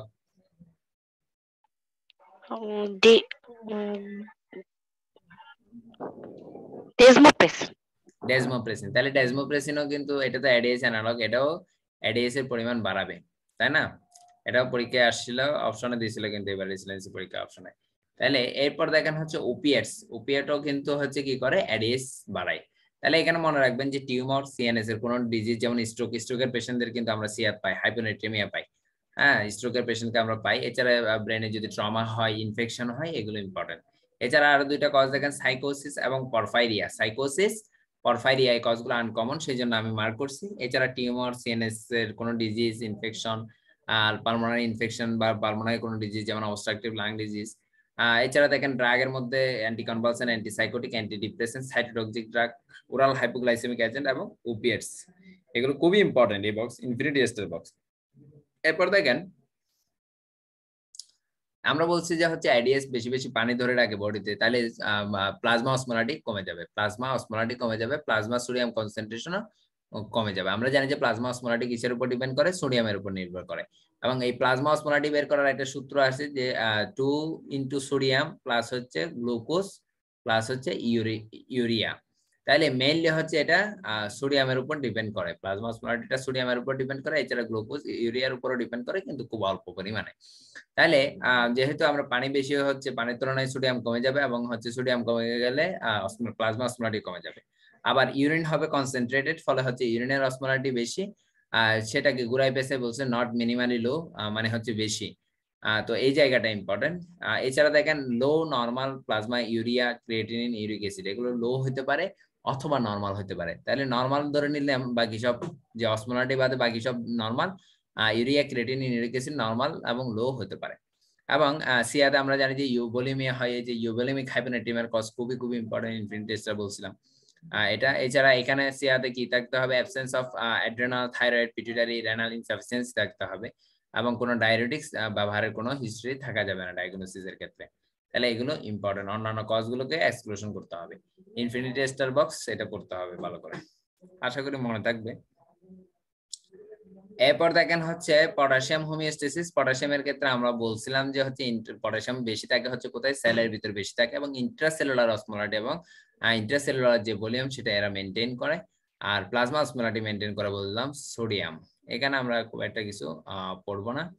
এখানে একটু আপনারা রিডিং জেরে দিতে পারেন। আমি এখান থেকে কিছু বলতেছি না আপাতত। যে পটাশিয়ামের সাথে হচ্ছে যে বিষয়টা, আমরা জানি যে হচ্ছে মেটাবলিক অ্যাসিডোসিস যদি হয় মেটাবলিক অ্যাসিডোসিসের ক্ষেত্রে হাইপার ক্যালেমিয়া হবে। হাইপার ক্যালেমিয়া হাইপার ক্যালেমিয়া তাহলে ব্লাডে হচ্ছে পটাশিয়াম বেশি থাকবে। আর অ্যালকালোসিসে কি হবে? হাইপো ক্যালেমিয়া হবে। হাইপো ক্যালেমিয়া হবে। এরপর দেখেন হচ্ছে হাইপো ক্যালেমিয়া এবং হাইপার ক্যালেমিয়ার যে কজগুলা খুবই খুবই ইম্পর্টেন্ট দেখেন হাইপোক্যালেমিয়ার যে কজগুলা খুবই খুবই ইম্পর্টেন্ট এবং হাইপোক্যালেমিয়া হাইপারক্যালেমিয়ার যে ইসিজি চেঞ্জ পরীক্ষায় ঘুরে ফিরে আসেই। তো দেখেন ওখান থেকে এসবিও আসে। সেই বিষয়ে আমরা আপনাদের সাথে পরবর্তীতে কথা বলব। দেখেন পটাশিয়াম যদি কখন কম হবে বডিতে, একবার যদি ভালো করে শুনেন, তাহলে আর কঠিন লাগবে না। তাহলে পটাশিয়াম যদি কেউ কম খায়, তাহলে হচ্ছে বডিতে পটাশিয়ামের পরিমাণ কম থাকবে। অথবা পটাশিয়াম ফ্রি ইন্ট্রাভেনাস ফ্লুইড যেটা পটাশিয়াম নেই এরকম ফ্লুইড যদি বেশি দেয় বডিতে, তখনও হাইপোক্যালেমিয়া হবে। তাহলে একটা ব্যালেন্স ফ্লুইড দিতে হবে। এরপর দেখেন রিডিস্ট্রিবিউশন ইনটু দ্য সেল যদি হচ্ছে ব্লাড থেকে পটাশিয়াম যদি সেলের ভিতর চলে যায়, তাহলে কিন্তু ব্লাডে পটাশিয়ামের পরিমাণ কমে যাবে। তাহলে আমি হাইপোক্যালেমিয়া অর্থাৎ ব্লাডে পটাশিয়ামের পরিমাণের কমে যাওয়ার কজগুলো বলতেছি। দেখেন অ্যালকালোসিস অ্যালকালোসিসে আপনি জানেন হাইপোক্যালেমিয়া হয়। অ্যালকালোসিসে কি হয়? হাইপোক্যালেমিয়া হয়। কি হয়? পটাশিয়ামগুলো হচ্ছে সেলের ভিতর ঢুকে যায়। এরপর দেখেন ইনসুলিন আপনারা জানি হচ্ছে ইনসুলিন হাইপোক্যালেমিয়া করে। ইনসুলিন কি করে? হাইপোক্যালেমিয়া করে তাহলে হচ্ছে সেলের ভিতর হচ্ছে পটাশিয়াম ঢুকাই দিবে। এরপর হচ্ছে এখানে ইম্পর্টেন্ট একটা কজ আমি বলি এটা আপনারা জানেন, হয়তো দেখা যাচ্ছে হেভি মিল খাওয়ার পর কোন একটা দাওয়াত দাওয়াত খাওয়ার পর হঠাৎ করে একটা পেশেন্ট আসলো যে হাত পা সবগুলোতে হচ্ছে আপনার উইকনেস ডেভেলপ করছে। যে বেশি কার্বোহাইড্রেট খাওয়ার কারণে ইনসুলিন বেশি বেশি রিলিজ হয়েছে ইনসুলিন রিলিজ হওয়ার কারণে হাইপোক্যালেমিয়া ডেভেলপ করছে। ডিটেলস আর বললাম না। তাহলে অ্যালকালোসিসে হচ্ছে হাইপোক্যালেমিয়া হয় ইনসুলিন হচ্ছে পটাশিয়াম সেলের ভিতর ঢুকাই ফেলে গ্লুকোজও ঢুকাই ফেলে যে কারণে দেখা যাচ্ছে যে হচ্ছে ইনসুলিন হাইপোক্যালেমিয়া হাইপোগ্লাইসেমিয়া এগুলো করে। এছাড়া ক্যাটাকোলামাইন, যে ইপিনেফ্রিন এবং নরিফিনেফ্রিন, এরাও কিন্তু পটাশিয়াম ইনফ্লাক্স করে সেলের ভিতর। এছাড়া বিটা অ্যাগনিস যে যে সালবিউটামল, আমরা যে সালবিউটামল দিয়ে হাইপার ক্যালেমিয়া হলে সালবিউটামল দিয়ে এরা কি করে? পটাশিয়ামকে সেলের ভিতর ঢুকাই ফেলে। আবার বিটা ব্লকার যদি বলি, যেমন প্রোপানল যদি বলি, বিটা ব্লকার বিটা ব্লকার কিন্তু পটাশিয়ামকে হচ্ছে সেল থেকে বের করে আনে বা হাইপার ক্যালেমিয়া করে হাইপার ক্যালেমিয়া করে। তাহলে beta agonist beta agonist salbutamol আমরা দিচ্ছি হাইপো যদি হাইপার ক্যালেমিয়া হয় পটাশিয়াম কমানোর জন্য। আর তাহলে ওটা হচ্ছে হাইপোক্যালেমিয়া করে বিটা বা সালবিটামল এরপর দেখেন হাইপোক্যালেমিক পিরিয়ডিক প্যারালাইসিস এখানে হচ্ছে কি হয়? পটাশিয়ামগুলো হচ্ছে আসলে সেলের ভিতরে চলে যায় এই জন্যই হচ্ছে হাইপোক্যালেমিয়া হয়। খুবই সহজ যে অ্যালকালোসিস হাইপোক্যালেমিয়ার সাথে অ্যাসোসিয়েটেড ইনসুলিন হাইপোক্যালেমিয়ার সাথে অ্যাসোসিয়েটেড ক্যাটাকোলামাইনগুলো হাইপোক্যালেমিয়া করে, বিটা অ্যাগনিস্ট যেমন সালবিডামল এছাড়া হাইপোক্যালেমিক পিরিয়ডিক প্যারালাইসিস। এরপর দেখেন, ইউরিন দিয়ে যদি সোডিয়াম বের হয়ে যায় বেশি, ইউরিন দিয়ে সোডিয়াম যদি বের হয়ে যায় সেক্ষেত্রে হচ্ছে ইনক্রিজ ইউরিনারি এক্সক্রিশন যদি হয় পটাশিয়ামের, সেক্ষেত্রেও হবে। যেমন, আমরা জানি যে অ্যালডোস্টেরন অ্যালডোস্টেরন কি করে? আমরা জানি যে অ্যালডোস্টেরন আমরা এখানে হাইপোক্যালেমিয়ার কজ করতেছি। অ্যালডোস্টেরন করে কি? সোডিয়াম ধরে রাখে ওয়াটার ধরে রাখে। তাহলে বডিতে হচ্ছে সোডিয়াম এবং ওয়াটারের পরিমাণ বাড়ায়, কিন্তু পটাশিয়াম এবং হাইড্রোজেনের পরিমাণ কমায়, পটাশিয়াম এবং হাইড্রোজেনের পরিমাণ কমায়। তাহলে পটাশিয়াম যদি কমায়, তাহলে হচ্ছে মানে রেনাল এক্সক্রেশন বেড়ে যায়, কিডনি দিয়ে বের হয়ে যায়, তাহলে ইউরিন দিয়ে বের হয়ে যায় রেনাল এক্সক্রেশন বের হয়ে যায় এই জন্য হাইপোক্যালেমিয়া হবে। কি হবে? হাইপোক্যালেমিয়া হবে। তাহলে অ্যালডোস্টেরন বেড়ে গেলে হাইপোক্যালেমিয়া হবে। আমরা আরেকটা কথা বলতে চাই। কর্টিসল নামে একটা হরমোন আছে হ্যাঁ? কুশিং সিনড্রোমে বাড়ে। কর্টিসলের কিন্তু অ্যালডোস্টেরন লাইক ইফেক্ট আছে। তো এটা কি করে? পটাশিয়ামের পরিমাণ এটাও তাহলে অ্যালডোস্টেরনের মতো যেহেতু কাজ করে, এটাও বডিতে হচ্ছে পটাশিয়ামের পরিমাণ কমাই দিবে। তাহলে দেখেন কোন সিনড্রোম কোন সিনড্রোমে কি হয়? অ্যালডোস্টেরন বেড়ে যায়। আমরা বলছি যে প্রাইমারি হাইপার অ্যালডোস্টেরনিজমের কজ হচ্ছে কোন সিনড্রোম কোন সিনড্রোমে তাহলে হচ্ছে কি হবে? অ্যালডোস্টেরন বেড়ে যায় এবং পটাশিয়াম কমে যাবে। কুশিং সিনড্রোম কর্টিসল বেড়ে যাবে, কর্টিসল অ্যালডোস্টেরনের মতো কাজ করে, ফলে হচ্ছে এটা পটাশিয়ামকে বের করে দিবে, ফলে এটাও হাইপোক্যালেমিয়া করবে। এই যে গ্লুকোকর্টিকয়েড বা গ্লুকোকর্টিকয়েড বা কর্টিসল, এটারও তো অ্যালডোস্টেরন লাইক ইফেক্ট আছে। কুশিং সিনড্রোমে তো গ্লুকোকর্টিকয়েড বা কর্টিসলই রিলিজ হয়। তাহলে এগুলো তাহলে কি করবে? বেশি অ্যালডোস্টেরন লাইক ইফেক্ট আছে, যে সোডিয়াম ধরে রাখবে ওয়াটার ধরে রাখবে পটাশিয়াম এবং হাইড্রোজেনকে বের করে দিবে। এরপর দেখেন এই যে একটু অ্যাটিপিক্যাল কার্বনাল বা হচ্ছে লিকোরাইস এই ড্রাগগুলো হচ্ছে কি করে? এরা ইউরিন ইউরিনারি এক্সক্রেশন বাড়াই দেয় পটাশিয়ামকে বের করে দেয় কার্বন অক্সিজেন এবং হচ্ছে লিকোরাইস এরপর দেখেন যে এখানে দেখেন তিনটে সিনড্রোম এই সিনড্রোমগুলো আপনাদের পরীক্ষার জন্য খুবই খুবই important Liddle syndrome Bartter syndrome এবং হচ্ছে Gitelman syndrome Liddle syndrome Bartter syndrome এবং হচ্ছে জিটেলম্যান সিনড্রোম এগুলোতে কি হয়? হাইপো ক্যালেমিয়া হয়। এগুলোতে কি হয়? হাইপো ক্যালেমিয়া হয়। খুবই ইম্পর্টেন্ট সাথে এই দুটার ক্ষেত্রে আবার হাইপো ক্যালেমিয়া যেমন হয় হাইপো ম্যাগনেশিয়ামিয়াও হয়। হাইপো ক্যালেমিয়া এবং হাইপো ম্যাগনেশিয়ামিয়া দুইটাই হয়। তাহলে এখানে স্পেশাল অ্যাটেনশন দিতে হবে হাইপোক্যালেমিয়া এবং হাইপারক্যালেমিয়া গুরুত্ব দিয়ে মনে রাখতে হবে। এই যে জেনেটিক যে disorder Liddle syndrome Bartter syndrome Gitelman syndrome এগুলো হাইপোক্যালেমিয়া করে। তার মধ্যে বার্টার সিনড্রোম এবং জিটেলম্যান সিনড্রোম এই দুইটা হচ্ছে হাইপোম্যাগনেসিয়ামিয়া করে। এবং আরেকটা ইম্পর্টেন্ট কথা আমি বলে দিই, এই যে এখানে হচ্ছে ডেভিডসন হাইপার টেনশন দিয়েছে, পরবর্তীতে পাবেন। এখানে আসলে হচ্ছে নর্মো টেনশন বার্টার এবং জিটেলম্যান এই দুইটাতে। বার্টার এবং জিটেলম্যান এই দুইটাতে নর্মো টেনশন বা হাইপোটেনশন হয় ইউজুয়ালি ঠিক আছে? আর লিডল সিন্ড্রোমেরটা ঠিক আছে হাইপারটেনশন অ্যালকালোসিস ঠিক আছে।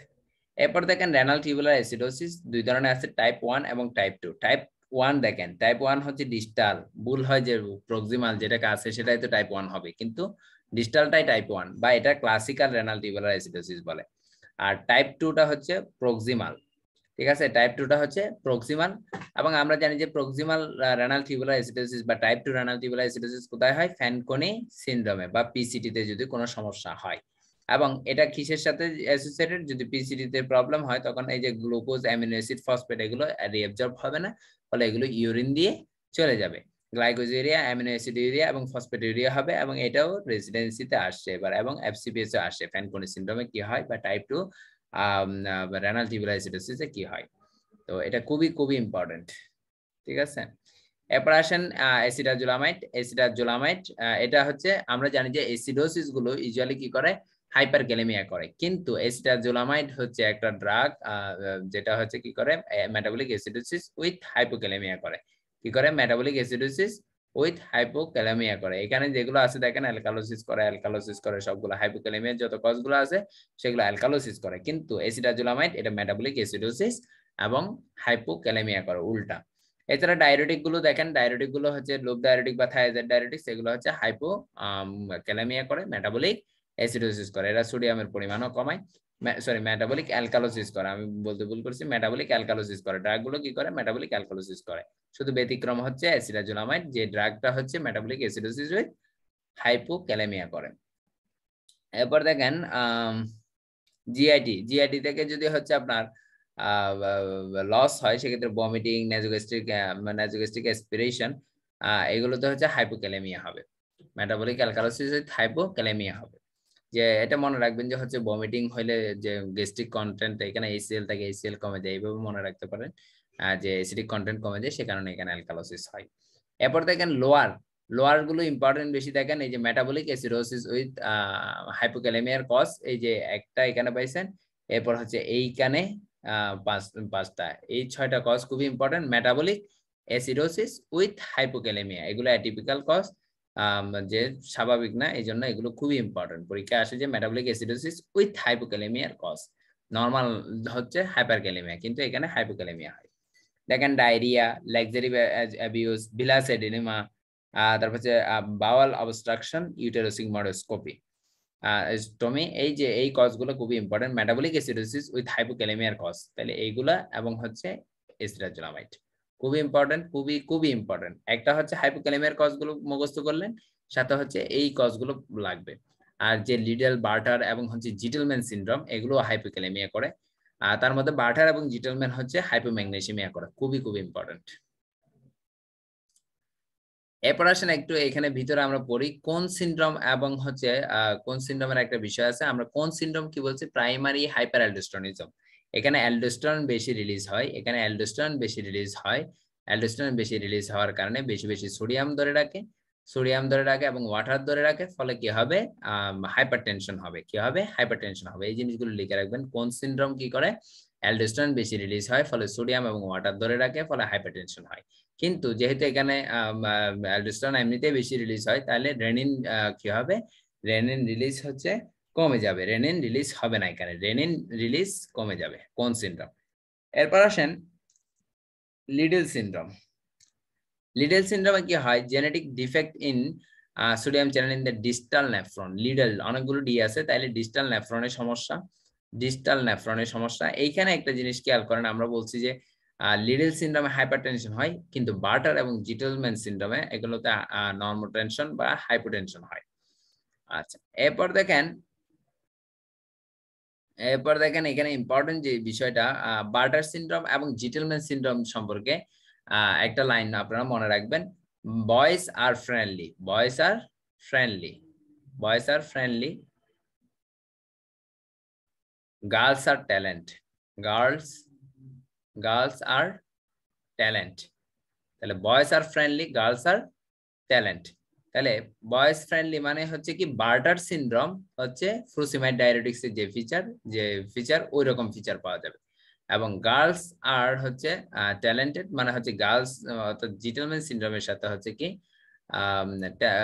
থায়াজাইড ডায়াবেটিকের ফিচারগুলো পাবো। এখন কোন কোন ফিচারগুলো পাবো দেখেন, যে আমরা পড়ে আসছি যে হচ্ছে Bartter syndrome Bartter syndrome Bartter সিনড্রোমে হচ্ছে আমরা বলতেছি ফ্রেন্ডলি অর্থাৎ ফ্রুসিমাইড ডায়াবেটিক্স এর সাথে হচ্ছে মিন বয়েস আর ফ্রেন্ডলি তাইলে ফ্রুসিমাইড ডায়াবেটিক্স আমরা পড়ছি যে লোপ লোপ লোপ অফ হ্যান্ডলিতে কাজ করে এবং সোডিয়াম পটাশিয়াম যে ক্লোরাইড কো ট্রান্সপোর্টার সেটাকে ক্লোরাইড কো ট্রান্সপোর্টারকে এই যে পটাশিয়াম ক্লোরাইড কো ট্রান্সপোর্টার কে হচ্ছে কি করে? ইনহিবিট করে। তাইলে বার্টার সিনড্রোমও কি করবে? ফ্রুসিমাইডের মতো এই যে সোডিয়াম পটাশিয়াম ক্লোরাইড কোট্রান্সপোর্টারকে ইনহিবিট করবে বা এখানে লস অফ ফাংশন মিউটেশন হয়। কিসের? এই ট্রান্সপোর্টারটা লস অফ ফাংশন মিউটেশন হয়। ঠিক আছে? যেটা হচ্ছে আপনার ফ্রুসিমাইড ইনহিবিট করতে, তাহলে ফ্রুসিমাইডের সাথে বার্টার সিনড্রোমে এই জায়গাটাতে মিল। এই জন্য বয়েস আর ফ্রেন্ডলি এইভাবে আমরা মনে রাখতেছি।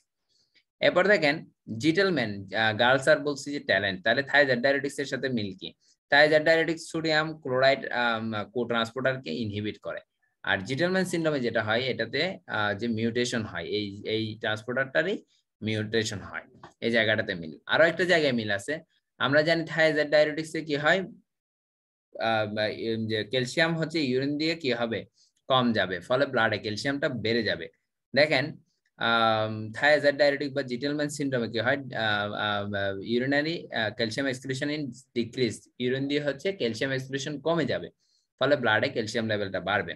আর যেটা হচ্ছে বার্ডার সিনড্রোম যে ফ্রুসিমাইড হচ্ছে কি করে? বেশি বেশি ক্যালসিয়াম ইউরিন দিয়ে চলে যায়, ফলে ব্লাডে ক্যালসিয়াম কমে যায়। সেই জিনিসটা হবে বার্ডার সিনড্রোমে ফ্রুসিমাইডের মতো বার্ডার সিনড্রোমে এই ঘটনাটা ঘটবে। তাহলে এটা খুবই ইম্পর্টেন্ট তাহলে আমরা জানি যে মেটাবলিক অ্যাসিডোসিসের সাথে হাইপার ক্যালেমিয়া জড়িত।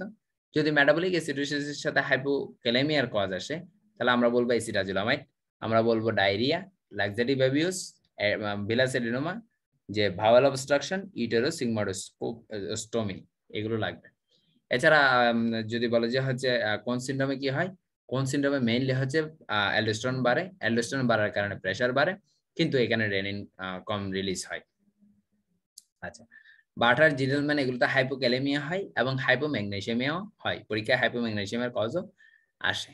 এবং ড্রাগ কজগুলো লাগবে। কোনগুলো কোনগুলো হচ্ছে সেলের ভিতর পটাশিয়াম ঢোকায় এগুলো লাগবে। এরপর দেখেন,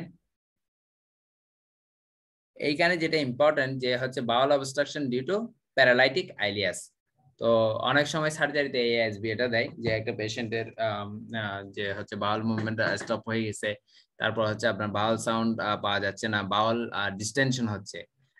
ইসিজি ফাইন্ডিং এ দেখা গেল যে হচ্ছে হাইপোক্যালেমিয়ার হচ্ছে ইসিজি ফাইন্ডিং দিয়ে দেয়। তাইলে পটাশিয়াম যদি কমে যায় তাহলে হচ্ছে কি হবে এখানে? প্যারালাইটিক আইলিয়াস ডেভেলপ করে। তে অ্যাবডোমিনাল হচ্ছে ডিস্টেনশন হবে, বাউল মুভমেন্ট পাওয়া যাবে না, বাউল সাউন্ড হবে না। তাহলে পটাশিয়াম যদি কমে যায়, তাহলে হচ্ছে কি হবে, অ্যাবডোমিনাল ডিস্টেনশন, বাউল মুভমেন্ট কমে যাবে তো বাউল সাউন্ড পাওয়া যাবে না। এই রকম সিনারিও দিয়ে যদি জিজ্ঞেস করে এবং ইসিজি ফাইন্ডিং দেয়, দিয়ে জিজ্ঞেস যে কোন কোন হচ্ছে ইলেকট্রোলাইট ডিফিসিয়েন্সি হাইপোক্যালেমিয়া পটাশিয়াম কমে যাবে। অনেকে ক্যালসিয়াম দাগাই দিয়ে আসে হাইপোক্যালসিয়ামিয়া এটা হচ্ছে হাইপোক্যালেমিয়া ঠিক আছে? তাহলে প্যারালাইটিক আইলিয়াস ডেভেলপ করে পটাশিয়াম কমে যাওয়ার কারণে। এটা এসবিএ প্রিভিয়াসলি সার্জারিতে আসছে। এরপর আমরা বলছি যে হচ্ছে আপনার এই যে লং স্ট্যান্ডিং যদি হাইপোক্যালেমিয়া থাকে রেনাল টিউবুলার ড্যামেজ করে, যে কারণে ডায়াবেটিক ইনসিপিটাস হয় নেপ্রোজেনিক ডায়াবেটিস ইনসিপিটাস হয়। এরপর দেখেন,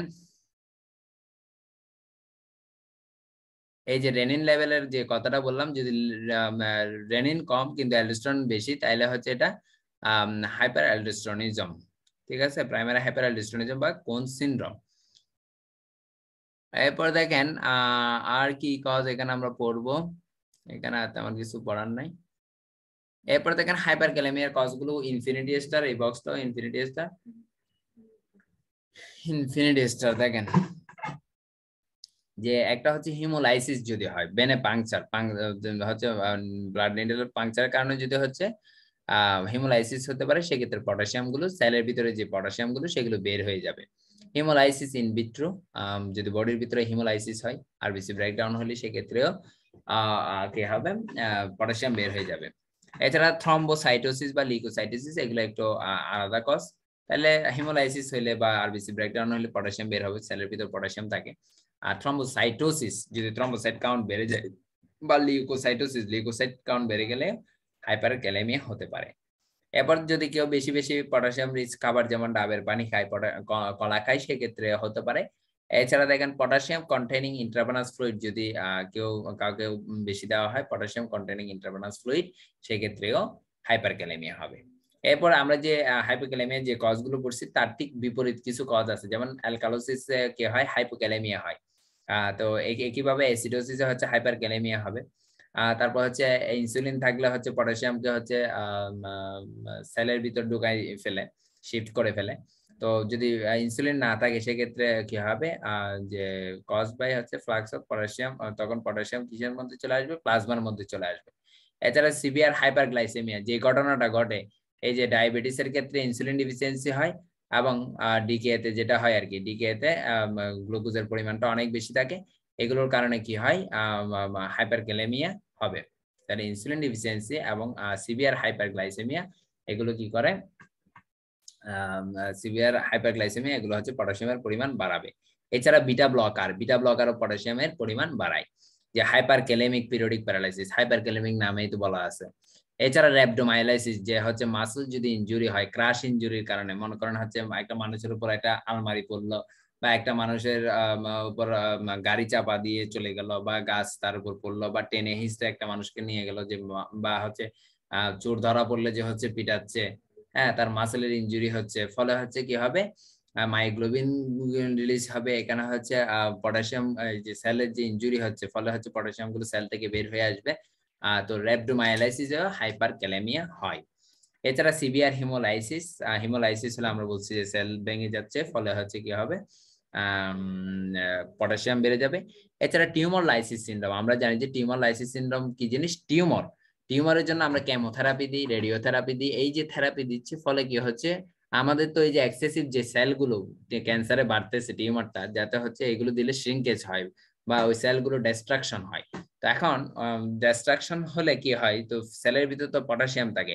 তো পটাশিয়াম কি হবে? বের হয়ে আসবে, ফলে ব্লাডে পটাশিয়ামের পরিমাণ বেড়ে যাবে হাইপারক্যালেমিয়া হবে ইউরিক অ্যাসিডের পরিমাণ ব্লাডে বেড়ে যাবে ফসফেটের পরিমাণ ব্লাডে বেড়ে যাবে।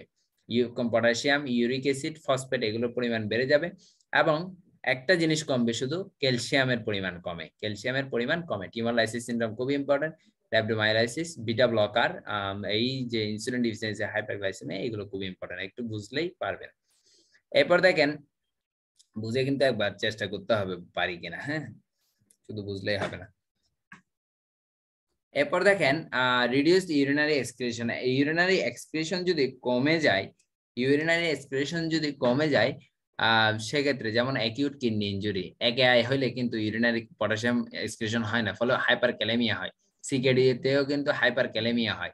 তাহলে এক্সক্রিশন যদি না হয় একে আই সিকেডি কিডনি ইঞ্জুরি হলে, সেক্ষেত্রে কিন্তু এক্সক্রিশন হচ্ছে না। এছাড়া যদি অ্যালডোস্টেরন লেভেল কমে যায় অ্যালডোস্টেরন তো আমরা বলি যে পটাশিয়ামকে বের করে দেয়, ফলে হাইপোক্যালেমিয়া হয়। কিন্তু অ্যালডোস্টেরন যদি কম থাকে, তাহলে তো বের করে দেওয়ার মানুষ নাই। তখন কিন্তু পটাশিয়াম বডিতে বেড়ে যাবে। যেমন এডিসন্স ডিজিজ এডিসন্স ডিজিজে অ্যালডোস্টেরন কম রিলিজ হয়। এডিসন্স ডিজিজে অ্যালডোস্টেরন কম রিলিজ হয়। এছাড়া congenital adrenal hyperplasia congenital adrenal hyperplasia এখানে অ্যালডোস্টেরন রিলিজ হয় না। ফলে কি হবে? অ্যালডোস্টেরন যদি রিলিজ না হয় পটাশিয়াম বের করে দেওয়ার লোক থাকল না। এছাড়া হচ্ছে আইসোলেটেড অ্যালডোস্টেরন ডিফিসিয়েন্সি যদি অ্যালডোস্টেরন কোনো কারণে, অন্য কোনো কারণে ডিফিসিয়েন্সি থাকে। এছাড়া অ্যানজিওটেনসিন কনভার্টিং এনজাইম এখানে অ্যালডোস্টেরন তৈরি হয় না। হ্যাঁ অ্যানজিওটেনসিন যদি কনভার্সন কে ব্লক করে দেয়, ফলে অ্যালডোস্টেরন তৈরি হইতে পারে না। কারণ অ্যালডোস্টেরন তো সোডিয়াম এবং ওয়াটারকে ধরে রেখে পটাশিয়াম কি করে? বডির ব্লাড প্রেশার বাড়ায়। আমরা এসি ইনহিবিটর কেন দিচ্ছি? ব্লাড প্রেশার কমানোর জন্য। তাহলে আমি যদি অ্যানজিওটেনসিন টু কে ব্লক করে দিতে পারি, তাহলে তো অ্যালডোস্টেরন রিলিজ হবে না। তখন এই জন্যই হচ্ছে আমরা এটা ব্লাড প্রেশার কমানোর জন্য ব্যবহার করি। ফলে কি হবে? অ্যালডোস্টেরন রিলিজ না হলে পটাশিয়ামের পরিমাণ বডিতে বেড়ে যাবে। তাহলে এসি ইনহিবিটর দিলে পটাশিয়ামের পরিমাণ বেড়ে যাবে এবং ফাইভ পয়েন্ট ফাইভ এর বেশি যদি পটাশিয়াম থাকে এসি ইনহিবিটর দেওয়া যাবে না, শুরু করা যাবে না। এছাড়া এআরবিও সেম দুটাই হচ্ছে কি করে? অ্যালডোস্টেরন লেভেল কমায়, ফলে পটাশিয়াম লেভেল বডিতে বাড়ায়। এছাড়া ক্যালসিনিউরিন ইনহিবিটর যে ট্যাক্রোলিমাস ক্যালসিনিউরিন ইনহিবিটর, এগুলো পটাশিয়াম বাড়ায়। এছাড়া স্প্যানোলেকটন ইপ্লেরেনন, এরা কি করে? মিনারেল কর্টিকয়েড রিসেপ্টরকে ব্লক করে। পরীক্ষায় আসতে পারে যে নিচের কোনটি মিনারেল কর্টিকয়েড রিসেপ্টরকে অর্থাৎ অ্যালডোস্টেরন যে জায়গায় রাখবে, যে রিসেপ্টরকে সেখানে ব্লক করে দিচ্ছে। ফলে অ্যালডোস্টেরন লাগতে পারতেছে না, বডিতে অ্যালডোস্টেরন কাজ করতে পারতেছে না। ফলে পটাশিয়ামের পরিমাণ বেড়ে যাবে। খুবই খুবই ইম্পর্টেন্ট এছাড়া হ্যাপারিন কি করে? হ্যাপারিনও কিন্তু হাইপারক্যালামিয়া করে। হ্যাপারিন হাইপারক্যালামিয়া করে হ্যাপারিন অস্টিওপোরোসিস করে হ্যাপারিন থ্রম্বোসাইটোপেনিয়া করে। এরপর দেখেন ইনহিবিটর অফ রেনিন প্রোডাকশন যেসব ড্রাগ হচ্ছে রেনিন প্রোডাকশন করতে দেয় না। যেমন হচ্ছে এনএসএইট বিটা ব্লকার এগুলো রেনিন প্রোডাকশনকে ইনহিবিট করে, এরাও পটাশিয়াম বাড়ায়। তাহলে এনএসএইট পটাশিয়াম বাড়ায় এবং হচ্ছে বিটা ব্লকারও পটাশিয়াম বাড়ায়। এছাড়া টিউবুলো ইন্টারস্টিশিয়াল ডিজিজ যেমন interstitial nephritis diabetic nephropathy obstructive uropathy এই কন্ডিশনগুলোতে হাইপার ক্যালেমিয়া হয়। অ্যামাইলোরাইড আমরা বলছি এটা হচ্ছে potassium sparing drug potassium sparing ড্রাগের মধ্যে আমরা স্প্যানোলেকটন অ্যামাইলোরাইড ইপ্লেরেনন এগুলো পড়ছি, এগুলো পটাশিয়াম বাড়ায় বডিতে। এছাড়া গর্ডন সিনড্রোম, এটাতেও পটাশিয়াম বাড়ে তাহলে হাইপার ক্যালেমিয়া এবং হাইপোক্যালেমিয়ার বক্সটা খুবই ইম্পর্টেন্ট ইউবোলেমিয়ার কজ বিশেষ করে ইউবোলেমিক হাইপোনাইটেমিয়ার কজগুলো খুবই ইম্পর্টেন্ট সিয়াদের বক্সগুলো খুবই ইম্পর্টেন্ট তো ইম্পর্টেন্ট বক্সগুলো একটু পড়তে হবে ভালো করে। আশা করি শুনলে আপনাদের অনেক বেশি মনে থাকবে। এরপর দেখেন এখানে অনেক ক্লিনিক্যাল ফিচার আছে, বিশেষ করে ইসিজি যে চেঞ্জগুলা, সেটা লাগবে। হাইপার ক্যালেমিয়াতে হচ্ছে টল পিক টি ওয়েব পাওয়া যায়। তারপর হচ্ছে হোয়াইট কিউআরএস কমপ্লেক্স পাওয়া যায়। এছাড়া আরও অনেকগুলো ফাংশন ফিচার আছে। সেই ফিচারগুলো আমি আপনাদেরকে হচ্ছে ফেসবুক গ্রুপে শেয়ার করছি। আবার আপনাদেরকে আমি আলাদা করে দিয়ে দিব। হ্যাঁ ওগুলো একটু নোট করে নেবেন। এরপর দেখেন, এই বক্সটা ইনফিনিটি স্টার এটা এসবিএ তে আসে। যে হচ্ছে হাইপার ক্যালেমিয়াতে যে কার্ডিয়াক অ্যারেস্ট প্রিভেন্ট করার জন্য আমরা ফার্স্ট কোন ড্রাগটা দিব? বা মোস্ট ইম্পর্টেন্ট কোন ড্রাগটা সেটা হচ্ছে calcium gluconate IV calcium gluconate এটা ten percent ten M L for ten minute ধরে হচ্ছে আমরা দিব। এবং এটা হচ্ছে কি করে? Stabilize the cell membrane cell membrane কে হচ্ছে কি করে? স্টাবিলাইজ সেল মেমব্রেন পটেনশিয়াল কে স্টাবিলাইজ করে।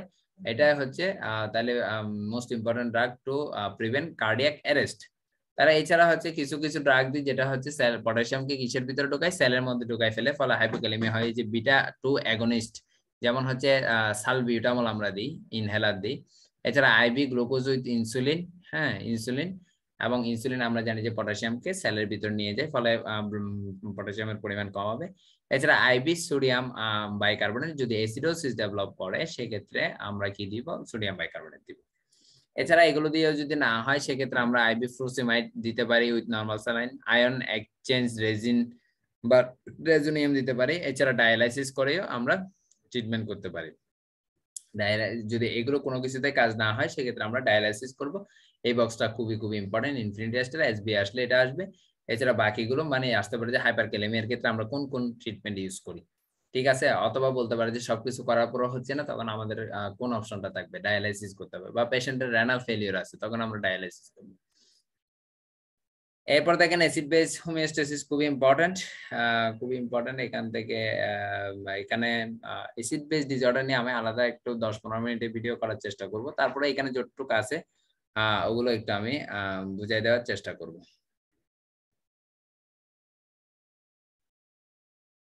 আচ্ছা এই জিনিসগুলো আমরা পড়ছি proximal renal eighty five percent of the bicarbonate হচ্ছে ফিল্ড ফিল্টার বাইকার্বনেট কি হয়? রিঅ্যাবজর্ব হয়। সব থেকে বেশি রিঅ্যাবজর্ব হয় কোথায়? প্রক্সিমাল কনভার্টেড টিউবুলে এখানে কার্বনিক অ্যানহাইড্রেজ এনজাইম আছে এই জন্য এসিটাজোলামাইড এখানে কাজ করে, এই এনজাইমকে ইনহিবিট করে। এছাড়া ব্রাশ বর্ডার থাকে ব্রাশ বর্ডার কোথায় থাকে? প্রক্সিমাল কনভার্টেড টিউবুলে থাকে, এই জিনিসগুলো ইম্পর্টেন্ট এখানে। আর হাইপোভেন্টিলেশন এবং হাইপার ভেন্টিলেশনের ব্যাপারে একটা কথা আছে যে মনে রাখবেন যে হচ্ছে হাইপার ভেন্টিলেশন যদি হয়, বেশি বেশি শ্বাস নিলে বডিতে মনে করেন কার্বন ডাইঅক্সাইড কমে যাবে। ঠিক আছে? কার্বন ডাইঅক্সাইড হচ্ছে একটা অ্যাসিডিক সাবস্টেন্স তাহলে যদি অ্যাসিড কমে যায়, তাহলে কি হবে? রেসপিরেটরি অ্যালকালোসিস হবে রেসপিরেটরি অ্যালকালোসিস হবে। তাহলে এটা হচ্ছে অ্যাসিড অম্লধর্মী অক্সাইড তাহলে হাইপার এটা আমি বোঝার জন্য বলতেছি সহজ করে, কারণ আমাদের পরীক্ষায় পারতে হবে। তাহলে হাইপার ভেন্টিলেশন যদি হয় তাহলে হচ্ছে কার্বন ডাইঅক্সাইড বের হয়ে যাবে বডিতে ফলে কার্বন ডাইঅক্সাইড যদি কমে যায় কমে গেলে হচ্ছে কি হবে? আপনার কার্বন ডাইঅক্সাইড যেহেতু অ্যাসিডিক এটা বেশি থাকলে অ্যাসিডোসিস হইতো। আর যদি এটা কমে যায়, তাহলে অ্যালকালোসিস হবে। যেহেতু এটা শ্বাস প্রশ্বাসের সাথে জড়িত যে কার্বন ডাইঅক্সাইড সো এটা হচ্ছে রেসপিরেটরি অ্যালকালোসিস হবে নট মেটাবলিক মেটাবলিক বললেই বাইকার্বনেটের কথা চিন্তা করব। আর রেসপিরেটরি শব্দটা থাকলে আমরা কার্বন ডাইঅক্সাইডের কথা চিন্তা করব। এরপর আসেন হাইপোভেন্টিলেশন ভেন্টিলেশন ভেন্টিলেশন ভালো হচ্ছে না, ফলে বডিতে কার্বন ডাইঅক্সাইড রিটেনশন হচ্ছে লাঙে ফলে বডিতে কার্বন ডাইঅক্সাইডের পরিমাণ বেড়ে যাবে। আর কার্বন ডাইঅক্সাইডের পরিমাণ বেড়ে গেলে অ্যাসিডের পরিমাণ যদি বেড়ে যায়, তাহলে রেসপিরেটরি অ্যালকালোসিস হবে। রেসপিরেটরি সরি অ্যাসিডোসিস হবে। অ্যাসিডের পরিমাণ বেড়ে গেলে অ্যাসিডোসিস হবে। আরেকবার বলি হাইপার ভেন্টিলেশন যদি হয় কার্বন ডাইঅক্সাইডের পরিমাণ কি হবে? কমে যাবে। নিঃশ্বাস ফেলবে বেশি বেশি, ফলে কার্বন ডাইঅক্সাইড জমা হবে না, ফলে আর কার্বন ডাইঅক্সাইড অ্যাসিডিক এটা কমে গেলে অ্যালকালোসিস হবে রেসপিরেটরি অ্যালকালোসিস আর হাইপোভেন্টিলেশন হলে কার্বন ডাইঅক্সাইড জমে যাবে বেশি বডিতে, এটা অ্যাসিডিক সাবস্টেন্স তাহলে রেসপিরেটরি অ্যাসিডোসিস হবে। তো এখানে আরেকটা জিনিস ইম্পর্টেন্ট যেটা হাইপার ভেন্টিলেশন হলে আমরা বলতেছি হচ্ছে রেসপিরেটরি অ্যালকালোসিস হয়। হ্যাঁ এটা আমার মেকানিজম বর্ণনা করতেছি না, আপনারা শুধু একটু মনে রাখেন, যদি হাইপার ভেন্টিলেশন হয়, এটা প্রিভিয়াসলি পরীক্ষায় আসছে আর রেসপিরেটরি অ্যালকালোসিস যদি হয় তাহলে কি হবে? হাইপার ভেন্টিলেশন অ্যালকালোসিস তখন হচ্ছে কি হবে? হাইপোক্যালসিয়ামিয়া হবে। হাইপো ক্যালসিয়ামিয়া হবে। তাহলে অ্যালকালোসিস হলে হাইপো হাইপোক্যালসিয়ামিয়া হবে। অ্যালকালোসিস হলে হাইপোক্যালসিয়ামিয়া হবে। ফলে কি হবে? টিটানি হবে। টিটানি বা কার্পোপেডাল স্পাজম হবে। টিটানি বা কার্পোপেডাল স্পাজম হবে। এই জিনিসটা মনে রাখেন। হাইপার ভেন্টিলেশন হলে রেসপিরেটরি অ্যালকালোসিস অ্যালকালোসিস হলে হাইপো হাইপোক্যালসিয়ামিয়া এবং হাইপোক্যালসিয়ামিয়া হলে আমরা জানি টিটানি বা কার্পোপেডাল স্পাজম হবে। এই জায়গাটা একটু মনে রাখবেন। আমি মেকানিজম বুঝালাম না, পরীক্ষার সামনে এখন মেকানিজম বুঝে কোনো লাভ নাই। এরপর দেখেন এই যে এসিড বেস ব্যালেন্স এখানে বুঝতে পারবেন এখান থেকে অনেক সময় অঙ্ক আসে। তো অঙ্কর জন্য আমরা আলাদা করে একটা ভিডিও করব দশ পনেরো মিনিটে। হ্যাঁ আপাতত হচ্ছে আমরা বুঝি যে কখন অ্যালকালোসিস হবে, কোন, কখন অ্যাসিডোসিস হবে, সেই জিনিসটা আমরা বুঝি। শোনেন আমরা যদি রেসপিরেটরি শব্দটা থাকে রেসপিরেটরি অ্যাসিডোসিস বা অ্যালকালোসিস রেসপিরেটরি শব্দ থাকলে আমরা দেখব যে partial pressure of carbon dioxide কতটুক এটা দেখব। আর যদি বলে যে মেটাবলিক হ্যাঁ আমি একটু কালার চেঞ্জ করতেছি। যদি বলে যে মেটাবলিক অ্যাসিডোসিস বা অ্যালকালোসিস তখন আমরা দেখব হচ্ছে কিসের পরিমাণ? বাইকার্বনেটেড মেটাবলিক বললে তখন আমরা বাইকার্বনেট দেখব। সেটা অ্যাসিডোসিস হোক বা অ্যালকালোসিস হোক। এখন আসেন কার্বন ডাইঅক্সাইড কার্বন ডাইঅক্সাইডটা কেমন সাবস্টেন্স অ্যাসিডিক সাবস্টেন্স তাহলে যদি partial pressure of carbon dioxide বাড়ে, তাহলে আমরা বলব যে রেসপিরেটরি অ্যাসিডোসিস হয়েছে রেসপিরেটরি অ্যাসিডোসিস আর যদি কার্বন ডাইঅক্সাইড যেহেতু অ্যাসিডিক সাবস্টেন্স এটা যদি কমে যায়, তখন কি হবে? যদি carbon dioxide partial pressure of carbon dioxide কমে গেলে অ্যালকাল রেসপিরেটরি অ্যালকালোসিস হবে রেসপিরেটরি অ্যালকালোসিস হবে। এবার আসেন মেটাবলিক অ্যাসিডোসিস বা অ্যালকালোসিস যে মেটাবলিক অ্যাসিডোসিস যদি বলে, এখানে যে বাইকার্বনেটটা কি ধরনের সাবস্টেন্স বাইকার্বনেটটা হচ্ছে একটা অ্যালকালাইন সাবস্টেন্ট তো বাইকার্বনেট যদি বেড়ে যায় বডিতে বাইকার্বনেটের পরিমাণ স্বাভাবিকের থেকে বেড়ে গেলে তাহলে মেটাবলিক অ্যালকালোসিস যেহেতু অ্যালকালাইন সাবস্টেন্ট অ্যালকালোসিস আর যদি বাইকার্বনেটের পরিমাণ কমে যায়, সেক্ষেত্রে কি হবে? বাইকার্বনেট কমে গেলে তাহলে অ্যালকালাইন সাবস্টেন্স কমে গেল, তার মানে কি হবে? বডি তখন অ্যাসিডিক হয়ে যাবে মেটাবলিক অ্যাসিডোসিস হবে। একটু জানলেই হবে। একটু কনসেপ্ট থাকলে আমরা পরবর্তীতে অঙ্ক করার জন্য দশ পনেরো মিনিট সময় নিয়ে করে ফেলতে পারব। এইখানে এই জিনিসগুলো একটু ব্যাখ্যা করছে, দেখেন। মেটাবলিক অ্যাসিডোসিস এবং অ্যালকালোসিস এর ক্ষেত্রে দেখেন। দেখেন মেটাবলিক মানে হচ্ছে বাইকার্বনেটের সাথে সম্পর্ক। বাইকার্বনেট তাহলে যদি কমে যায়, তাহলে হচ্ছে অ্যাসিডোসিস হবে। বাইকার্বনেট বেড়ে গেলে হচ্ছে অ্যালকালোসিস হবে, যেহেতু অ্যালকালাইন সাবস্টেন্স এরপর দেখেন হচ্ছে রেসপিরেটরি অ্যাসিডোসিস রেসপিরেটরি হলে আমরা বলছি কার্বন ডাইঅক্সাইডের উপর ডিপেন্ড করবে। কার্বন ডাইঅক্সাইড বেড়ে গেলে অ্যাসিডোসিস হবে। রেসপিরেটরি অ্যালকালোসিস কার্বন ডাইঅক্সাইড কমে গেলে অ্যালকালোসিস হবে। খুবই খুবই ইম্পর্টেন্ট এরপর আসেন ইনফিনিটি স্টার একটা বক্স এখান থেকেও প্রতিবারে এফসিপিএস রেসিডেন্সিতে প্রশ্ন আসে। এটা পারতে হবে হ্যাঁ? এই বক্স কীভাবে আমরা সহজভাবে মনে রাখব? আমরা কিন্তু এখানে মেকানিজম বুঝাচ্ছি না। কেন বুঝাচ্ছি না? এখন মেকানিজম বুঝে লাভ নাই। পরীক্ষায় পারতেছি কিনা সেটা ইম্পর্টেন্ট ঠিক আছে? আমরা পরীক্ষায় পারার জন্য যেভাবে দরকার, সেই জিনিসটাই আমরা পড়ব দেখেন এখানে একটা জিনিস লিখে রাখেন যে, এই যে ইনক্রিজড অ্যানায়ন গ্যাপ বা hypochloraemic hypochloraemic hypo hypo তাহলে হাইপোক্লোরেমিক হাইপোক্লোরেমিক আর নর্মাল অ্যানায়ন গ্যাপটা হচ্ছে হাইপার ক্লোরেমিক নর্মালটা হচ্ছে হাইপার ক্লোরেমিক অ্যানায়ন গ্যাপ ঠিক আছে? এটা হচ্ছে, তাহলে ইনক্রিজটা হচ্ছে হাইপোক্লোরেমিক আর নর্মাল অ্যানায়ন গ্যাপ যেটা, এটা হচ্ছে হাইপার ক্লোরেমিক এটুক লিখছেন? লেখার পরে তাহলে আমরা একটা সূত্র বলি। এই সূত্র যখন আপনি খাটাবেন, তাহলে দেখবেন যে সবকিছু আপনার মিলে যাবে। যে আমরা শুধু রেজড অ্যানায়ন গ্যাপ বা ইনক্রিজড অ্যানায়ন গ্যাপের কজগুলো পড়ব। Raised anion gap raised anion gap raised anion গ্যাপের কজ দেখেন অল অ্যাসিডোসিস লিখে রাখেন all acidosis all acidosis except all acidosis except renal tubular acidosis. All acidosis except renal tubular acidosis. আছে তাহলে হচ্ছে অল অ্যাসিডোসিস এর মধ্যে কি রকম হতে পারে? ডায়াবেটিক কিটো অ্যাসিডোসিস হতে পারে। হ্যাঁ লেকটিক অ্যাসিডোসিস হতে পারে। লেকটিক অ্যাসিডোসিস হতে পারে। আবার হাইপো হাইপোক্সিয়া যদি হয় হাইপোক্সিয়া হলে কি হবে? আমরা জানি যে হাইপোক্সিয়া হলে যে হচ্ছে কি হয়? লেকটিক অ্যাসিড জমা হয়। কি হবে? তখন লেকটিক অ্যাসিডোসিস তখন হচ্ছে লেকটিক অ্যাসিডোসিস হবে। হাইপোক্সিয়া হলে তাহলে কজ যদি দেয় হাইপোক্সিয়া তাহলে এটা কি হবে? এটাতে অ্যানাইনকে বাড়বে। এছাড়া যদি দেয় যে পেশেন্টের শকে আছে শকে থাকলেও কি হবে? পারফিউশন কম হবে, ফলে অক্সিজেন যাবে না মানে হাইপোক্সিয়া হবে। হাইপোক্সিয়া হবে ওয়াইড স্পিড হাইপোক্সিয়াটাকেই তো আমরা শক বলি। তাহলে হাইপোক্সিয়া হলে কি হবে? লেকটিক অ্যাসিড জমা হবে, ফলে হচ্ছে এখানে লেকটিক অ্যাসিডোসিস হবে। তাহলে এগুলো সবগুলো কি করে? অ্যানায়ন গ্যাপ বাড়ায়। Except renal tubular acidosis type one type two type four এগুলো হচ্ছে কি করে? অ্যানায়ন গ্যাপ নর্মাল থাকে। তাহলে অ্যানায়ন গ্যাপ বাড়ানো মানে হচ্ছে হাইপোক্লোরেমিক পরীক্ষায় হাইপোক্লোরেমিক দিয়েও আসতে পারে। এরপর দেখেন, আর কি আছে? তাহলে এটা এক নম্বরে লিখছেন যে all acidosis except renal tubular acidosis এরপর লিখেন হচ্ছে all poisoning all poisoning except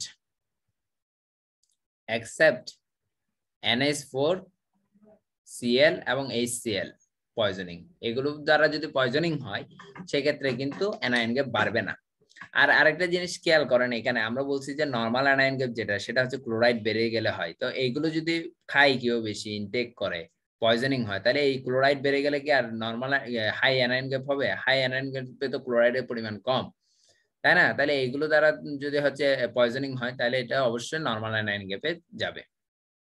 তাহলে অল পয়জনিং অ্যাকসেপ্ট NH4Cl এবং হচ্ছে HCl পয়জনিং যেমন অল পয়জনিং এর মধ্যে কি কি আছে? যদি ইথানল পয়জনিং হয় মিথানল পয়জনিং হয়, তাহলে এগুলো সবগুলো অ্যানায়ন গ্যাপ বাড়বে। এরপর তিন নাম্বারে একটা কজ লিখে রাখেন সিকেডি বা রেনাল ফেলিওর সিকেডি বা রেনাল ফেলিওর আমি দেখলাম যে এমনিতে কজগুলো পড়লে মনে থাকে না এরকম করে। যদি আলাদা করে পড়ে ফেলি, তাহলে কোনো কজই আপনার মিস যাবে না এবং আপনি হান্ড্রেড পার্সেন্ট আনসার করে আসতে পারবেন।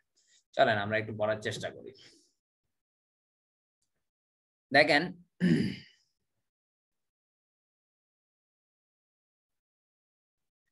দেখেন, এখানে দেখেন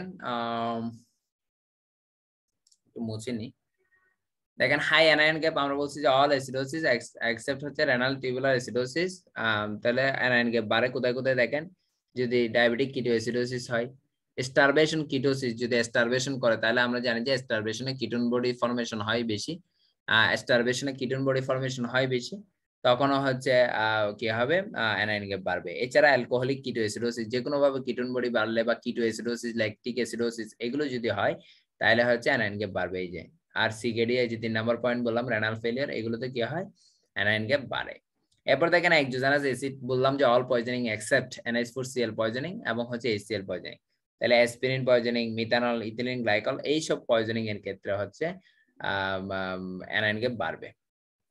কিটোন বডিগুলোর নাম দিচ্ছে দেখেন acetoacetate beta hydroxy butyrate তারপর হচ্ছে আরেকটা আছে এসিটোন তাহলে নর্মাল অ্যানাইন গ্যাপ দেখেন ওই যে ইনক্রিজ অ্যানাইন গ্যাপ করলে বাকিগুলো এমনিতে পারবেন।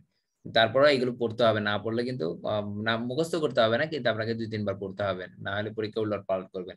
দেখেন পয়জনিং উইথ NH4Cl এবং HCl যদি হচ্ছে ডায়রিয়া হয় যদি হচ্ছে বাইকা কি বলে বাওয়াল ফিস্টুলা হয় ইউরিনারি ডাইভারশন হয়, এছাড়া হচ্ছে রেনাল টিউবুলার অ্যাসিডোসিস এই যে রেনাল টিউবুলার অ্যাসিডোসিস এই ক্ষেত্রে হচ্ছে আপনার কি হবে? নর্মাল অ্যানাইন গ্যাপ বা হচ্ছে হাইপারক্লোরামিক হবে অ্যানাইন গ্যাপ এরপর দেখেন এখানে প্যাথোফিজিওলজি গুলো হচ্ছে একটু আপনারা পড়বেন, যে পিডিএফ থেকে একটু আপনারা দাগায় নেবেন। এগুলো জিনিসগুলোকে আমি এক জায়গায় নিয়ে আসছি, এই যে রেনাল টিউবুলার অ্যাসিডোসিসের যে জিনিসগুলো আছে, সেই জিনিসগুলোকে আমি এই যে পাশে লিখে রাখছি, ভিতরে যাতে পড়া না লাগে। এবং এই বক্সটাও এবার রেসিডেন্সিতে আসছে। দেখেন ছোট্ট একটা চ্যাপ্টার বডি ফ্লুইড সেখান থেকে কিন্তু অনেকগুলো প্রশ্ন আসে চার, পাঁচটা, ছয়টা প্রশ্ন আসছে। এবং এফসিপিএসিও কিন্তু তাই, অনেকগুলো এমসিকিউ এবং দুই একটা এসবিএ এখান থেকে চলে আসে। তাহলে রেনাল টিউবুলার অ্যাসিডোসিস এর ক্ষেত্রে যে ভুলটা আমরা করি সব সময় যে প্রক্সিমালকে মনে করে যে টাইপ ওয়ান প্রথমে দেয়, সুতরাং প্রক্সিমালটা হচ্ছে টাইপ টু এটা মনে রাখবেন। এরপর ডিজিটালটাকে আমরা মনে করি দূরে, সেজন্য টাইপ টু কিন্তু এটা আসলে টাইপ ওয়ান এই জায়গাগুলোতে ভুল করা যায় না এবং ডিজিটালটাই হচ্ছে ক্লাসিক্যাল টাইপ ওয়ান বা ক্লাসিক্যাল এরপর দেখেন হাইপার ক্যালেমিক ডিজিটাল আরেকটা আছে টাইপ ফোর টাইপ থ্রি বলে নাই টাইপ ফোর এই টাইপ ফোরটা হচ্ছে হাইপার ক্যালেমিক তাইলে এই টাইপ ওয়ান এবং টাইপ টু এই দুটাতে হাইপোক্যালেমিয়া হয়, মনে রাখবেন। টাইপ ওয়ান টাইপ টু তে হাইপোক্যালেমিয়া হয়, কিন্তু টাইপ ফোর হচ্ছে হাইপার ক্যালেমিক ইজিলি কীভাবে মনে রাখব? ইজিলি কীভাবে মনে রাখব? এটা খুব জরুরি। এখানে প্রত্যেকটা কজ আপনাকে জানতে হবে এবং পরীক্ষায় পারতে হবে। দেখেন পটাশিয়াম যেখানে যেখানে বাড়ে, এটা বললাম যে হাইপার ক্যালেমিক ডিস্টাল এটাও ডিস্টাল কিন্তু। টাইপ টু যেটা হচ্ছে টাইপ ওয়ান এটাও ডিস্টাল এবং টাইপ ফোরও ডিস্টাল কিন্তু এটা হাইপার ক্যালেমিক বাকি দুইটা হাইপোক্যালেমিক হ্যাঁ এটা পরীক্ষা ইম্পর্টেন্ট তো যেসব কারণে পটাশিয়াম বাড়বে, সেগুলো হচ্ছে type four renal tubular acidosis type four দেখেন, যে পটাশিয়াম স্পেরিং ড্রাগ অর্থাৎ যেগুলো পটাশিয়াম ধরে রাখে অ্যামাইলোডাইড স্পেরানোলেকটন এগুলো হচ্ছে হাইপার ক্যালামিক এছাড়া হচ্ছে হাইপো অ্যালডোস্টেরনিজম হাইপো অ্যালডোস্টেরনিজম অর্থাৎ অ্যালডোস্টেরন যদি কমে যায়, আমরা জানি যে অ্যালডোস্টেরন পটাশিয়ামকে বের করে দেয়। যেহেতু অ্যালডোস্টেরন কমে গেছে, তাহলে পটাশিয়াম বের করে দেওয়ার কেউ নাই? ফলে বডিতে পটাশিয়াম বেড়ে যাবে হাইপার ক্যালেমিয়া হাইপো অ্যালডোস্টেরনিজম যেমন এরকম হচ্ছে এডিসনস ডিজিজ এছাড়া অবস্ট্রাকটিভ ইউরোপ্যাথি অবস্ট্রাকটিভ ইউরোপ্যাথি এবং ট্রান্সপ্লান্ট রিজেকশন এই দুটো তো আর আপনি সূত্র দিয়ে মিলাইতে পারবেন না যে পটাশিয়াম কেন হচ্ছে গিয়া হয়েছে। তাহলে যখন রিজেকশন হবে, তখন হচ্ছে এখানে সেল ইনজুরি হয়, ফলে হচ্ছে এখানে পটাশিয়াম বেড়ে যাবে এবং অবস্ট্রাকটিভ ইউরোপ্যাথি এটাতেও হাইপার ক্যালেমিয়া হবে। অবস্ট্রাকটিভ ইউরোপ্যাথি এবং রেনাল ট্রান্সপ্লান্ট এই দুইটা কজ মনে রাখবেন তাহলে এখানে হাইপার ক্যালেমিয়া যে কজগুলো এগুলো হচ্ছে hyperkalaemic distal renal tubular acidosis করে এবং এরপর আসেন টাইপ ওয়ান বা ক্লাসিক্যাল যে ক্লাসিক্যাল আমরা কাদের কথা বলি? আমাদের সমাজের ক্লাসিক্যাল যে আমরা এই হিস্ট্রিতে পড়ি, রাজা বাদশাহ লাটদের কথা শুনি লাট ঠিক আছে? বড় লাট, ছোট লাট হ্যাঁ? তো এই লাটদের কথা আমরা শুনি। তাহলে এরা হচ্ছে ক্লাসিক্যাল বা ডিজিটাল বা টাইপ ওয়ান ফার্স্ট ক্লাস মানুষ ছিল। তো এইটা একটা নিমোনিক আছে, সুন্দর করে মনে রাখবেন। টাইপ ওয়ান বা ডিজিটাল বা ক্লাসিক্যাল এই রেনাল টিউবুলার মনে রাখবেন লাটদের, লাট, এই যে লাটের বেটা বলে না, লাট লাট, লাটদের হচ্ছে কি হয়? Hyper globulin and autoimmune disease হয়। আপনি একটা জিনিস খেয়াল করেন বিদেশে যে যারা হচ্ছে বাইরের দেশে ইউরোপিয়ান কান্ট্রিগুলোতে এদের কিন্তু অটোইমিউন ডিজিজ বেশি হয়। তো লাটগুলো তো যে ইউরোপ ইংল্যান্ড এখান থেকে আসছিল। তো তাহলে হচ্ছে লাটদের কি হয়? হাইপার গ্লোবিনেমিয়া হয় ব্লাডে গ্লোবিনের পরিমাণ বেশি থাকে এবং অটোইমিউন ডিজিজ বেশি হয়। পরীক্ষায় হাইপার গ্লোবিনেমিয়া দেখলেই আপনি টাইপ ওয়ান বা হচ্ছে ডিজিটাল বা ক্লাসিক্যাল রেনাল টিউবুলার অ্যাসিডোসিস দেখাই ফেলবেন। ঠিক আছে? লাট মানে কি দেখেন? লিথিয়াম এল দিয়ে হচ্ছে লিথিয়াম এ দিয়ে হচ্ছে অ্যামফোটেরিসিন এবং হচ্ছে টি দিয়ে হচ্ছে টলোইন এই তিনটা ড্রাগ লিথিয়াম অ্যামফোটেরিসিন টলোইন লাট দিয়ে মনে রাখলেন, কিন্তু পরে এল টি দিয়ে কি এটা ভুলে যাবেন। তাহলে হচ্ছে লিথিয়াম অ্যামফোটেরিসিন এবং হচ্ছে টলোইন বারবার করে বলবেন, চার পাঁচবার বলবেন, মুখস্থ হয়ে যাবে। এবং এদের হাইপার গ্লোবিউলিন গ্লোবিউলিন কিন্তু বেশি থাকে এবং হচ্ছে অটোইমিউন ডিজিজ যেমন এসএলই এগুলো বেশি হবে। চলেন আমরা এখানে অপশনগুলো দেখি। দেখেন লাটদের হচ্ছে কি হয়? তাইলে হচ্ছে লাট, এই যে লাট, লিথিয়াম, অ্যামফোটেরিসিন এবং টলোইন হাইপার গ্লোবিউলিন গ্লোবিউলিনের পরিমাণ বেশি হয় এবং এদের কি হয়? অটোইমিউন ডিজিজ বেশি হয়, যে এসএলই শগ্রেন সিনড্রোম এই ডিজিজগুলো বেশি হয়। এরপর আসেন হচ্ছে প্রক্সিমাল রেনাল টিউবুলার অ্যাসিডোসিস এটা হচ্ছে খুবই ইম্পর্টেন্ট খুবই ইম্পর্টেন্ট তো এখানে আমরা জানি যে ফ্যানকনিস সিনড্রোমে হচ্ছে কি হয়? প্রক্সিমাল রেনাল টিউবুলে হচ্ছে ডিফেক্ট হয়। পরীক্ষায় আসে যে টাইপ টু রেনাল টিউবুলার অ্যাসিডোসিসের সাথে কোন কোন ডিজিজ অ্যাসোসিয়েটেড এভাবে আসতে পারে বা কজ কি? এভাবে আসতে পারে। অথবা ফ্যানকনি সিনড্রোমের সাথে কোন কোন ডিজিজ অ্যাসোসিয়েটেড এইভাবে পরীক্ষায় কিন্তু প্রশ্ন আসে। যেমন হচ্ছে ফ্যানকনি সিনড্রোমের সাথে এইগুলো disease associated cystinosis Wilson's disease multiple myeloma amyloidosis এইগুলো ডিজিজ কিন্তু অ্যাসোসিয়েটেড বা এগুলো প্রক্সিমাল রেনাল টিউবুলার অ্যাসিডোসিস করে। এছাড়া হাইপার প্যারাথাইরয়েডিজম আছে, এগুলো একটু করতে হবে। এছাড়া আমরা জানি যে কার্বনিক অ্যানহাইড্রেজ ইনহিবিটর যেমন এসিটাজোলামাইড এটা কিন্তু প্রক্সিমাল রেনাল টিউবুলার হচ্ছে কাজ করে এবং এটা মেটাবলিক অ্যাসিডোসিস করে কার্বনিক অ্যানহাইড্রেজ এছাড়া হচ্ছে কিছু হেভি মেটাল আছে, যেগুলো হচ্ছে প্রক্সিমাল রেনাল টিউবুলার ডিজিজ করে এবং প্রক্সিমাল রেনাল টিউবুলার অ্যাসিডোসিস করে হেভি মেটালগুলা। ডায়োটিক্স এর মধ্যে কার্বনিক অ্যানহাইড্রেজ এছাড়া হাইপার প্যারাথাইরয়েডিজম এটা একটু খেয়াল করেন এই যে অ্যাসোসিয়েটেড ডিজিজ এগুলো একটু ফ্যানকনি সিনড্রোমের সাথে অ্যাসোসিয়েটেড এগুলো যে সিস্টোনোসিস উইলসন ডিজিজ মায়োলোমা এবং অ্যামাইলোডিজিস খুবই খুবই ইম্পর্টেন্ট আমি যখন এফসিপিএস এ পরীক্ষা দিই সে তখনও এই জিনিসটা আসছে আমি জাস্ট দেখে পরীক্ষার হলে ঢুকছিলাম এবং রেসিডেন্সি পরীক্ষাতেও এই কজগুলো আসছে। এবং এই দুইটা বক্সই কমন পাইছি দুইটা পরীক্ষাতে খুবই ইম্পর্টেন্ট এবং এখান থেকে ছোট চ্যাপ্টার কিন্তু পরীক্ষায় আসে বেশি। তাহলে এখানে যে জিনিসটা আমি বলি না এখনও এই যে ভিতরের যে কথাগুলো এখানে লিখে রাখছি, দেখেন একটু খেয়াল করেন, যে টাইপ টু তে যেটা বা প্রক্সিমালে ইম্পেয়ার্ড বাইকার্বনেট রিঅ্যাবজর্পশন এখানে বাইকার্বনেট রিঅ্যাবজর্পশন হয় না। বাইকার্বনেট রিঅ্যাবজর্পশন হচ্ছে হয় না। এরপর দেখেন টাইপ ওয়ানে কি হয়? Impaired potassium secretion potassium sorry hydrogen secretion impaired hydrogen secretion এরপর দেখেন হচ্ছে হাইপার ক্যালেমিক ডিজিটাল যেটা, এটাতে impaired sodium reabsorption impaired sodium reabsorption এবং সাথে reduce hydrogen and potassium secretion এই জিনিসগুলো একটু লিখে রেখে এগুলো একটু মনে রাখতে হবে, এগুলো মনে থাকতে চাবে না, একটু মনে রাখতে হবে। তাহলে এইগুলো খুবই ইম্পর্টেন্ট এই বক্সটা খুবই ইম্পর্টেন্ট এই যে এক্সট্রা লিখে দিছি, এটা লিখে রাখবেন, খুবই খুবই ইম্পর্টেন্ট এরপর আসে দেখেন, এখানে এখানে একটু ক্লিনিক্যাল ফিচার এই লাইনটা দেখেন কি হয়, এটা একটু দেখবেন। এখানে তেমন কোনো পড়ার নাই। ওই যে ফ্যানকনি সিনড্রোম যেগুলো ওখানে আছে ওইগুলাই আমরা জানি যে প্রক্সিমাল যে কনভার্টেড টিউবুল এখানে হচ্ছে গ্লুকোজ অ্যামিনো অ্যাসিড ভিটামিন এবং হচ্ছে কিটোন বডি ফসফেট এগুলো রিঅ্যাবজর্ব হয়। যদি ফ্যানকনি সিনড্রোম হয় প্রক্সিমাল টিউবুলে ডিফেক্ট হয় তখন কিন্তু এগুলো আর রিঅ্যাবজর্ব হবে না এগুলো ইউরিন দিয়ে বের হয়ে চলে যাবে। ফলে কি হবে দেখেন যে urinary wasting of amino acid অর্থাৎ amino acid uria amino acid uria হবে, ফসফেট ইউরিয়া হবে এবং হচ্ছে গ্লুকোজ ইউরিয়া হবে। ঠিক আছে? এই কথাগুলো ইম্পর্টেন্ট এখানে। ডিকেতে কি হয়? অ্যাসিডোসিসে কি হয়? জাস্ট একটু একটু দেখবেন। এখানে ওগুলো সব বলা হয়ে গেছে। ইম্পর্টেন্ট কোনো কথা আমরা বাদ রাখি না এখানে। যে হচ্ছে এইখানে, এখানে ইম্পর্টেন্ট কোনো কিছু আমরা বাদ রাখি নাই এখানে দেখেন এই যে আমরা বলছি যে অ্যালকালোসিস অ্যালকালোসিস হলে সেক্ষেত্রে হাইপোক্যালসিয়ামিয়া হবে হাইপোক্যালসিয়ামিয়া হলে নিউরোমাসকুলার যে ইরিটেবিলিটি এটা বেড়ে যাবে, ফলে টিটানি হবে।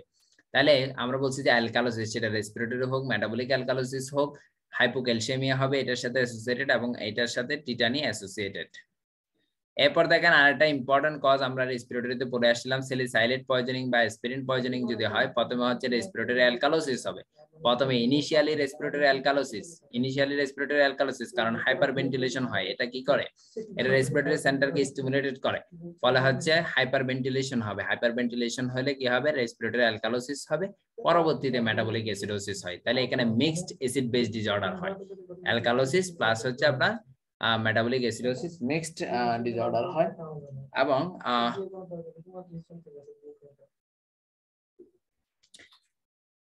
তাহলে এটাও কিন্তু এসবি এর জন্য খুবই খুবই ইম্পর্টেন্ট যে সেলিসাইলেট পয়জনিং বা অ্যাসপিরিন পয়জনিং এ যে রেসপিরেটরি সেন্টারকে স্টিমুলেট করে, ফলে হচ্ছে হাইপার ভেন্টিলেশন হয়। হাইপার ভেন্টিলেশন হলে আমরা বলছি যে রেসপিরেটরি অ্যালকালোসিস আর যে কোনো ধরনের অ্যালকালোসিসে কি হয়? হাইপো ক্যালসিয়ামিয়া হবে টিটানি হবে খুব ইম্পর্টেন্ট মনে রাখবেন।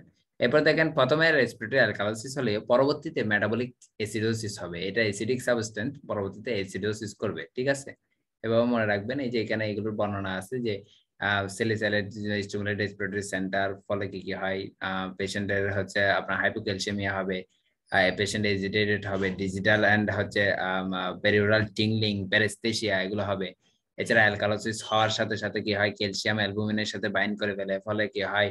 আয়োনাইজ ক্যালসিয়ামের পরিমাণ কমে যায়। কেন হাইপোক্যালসিয়ামিয়া হয়? তার একটা বর্ণনা এখানে দিচ্ছে অ্যালকালোসিস এবং এইখানে যে হাইপোক্যালসিয়ামিক টিটানিতে আমরা জানি ট্রসোসাইন বস্টেক্সাইন এই সাইনগুলো হচ্ছে পজিটিভ হবে।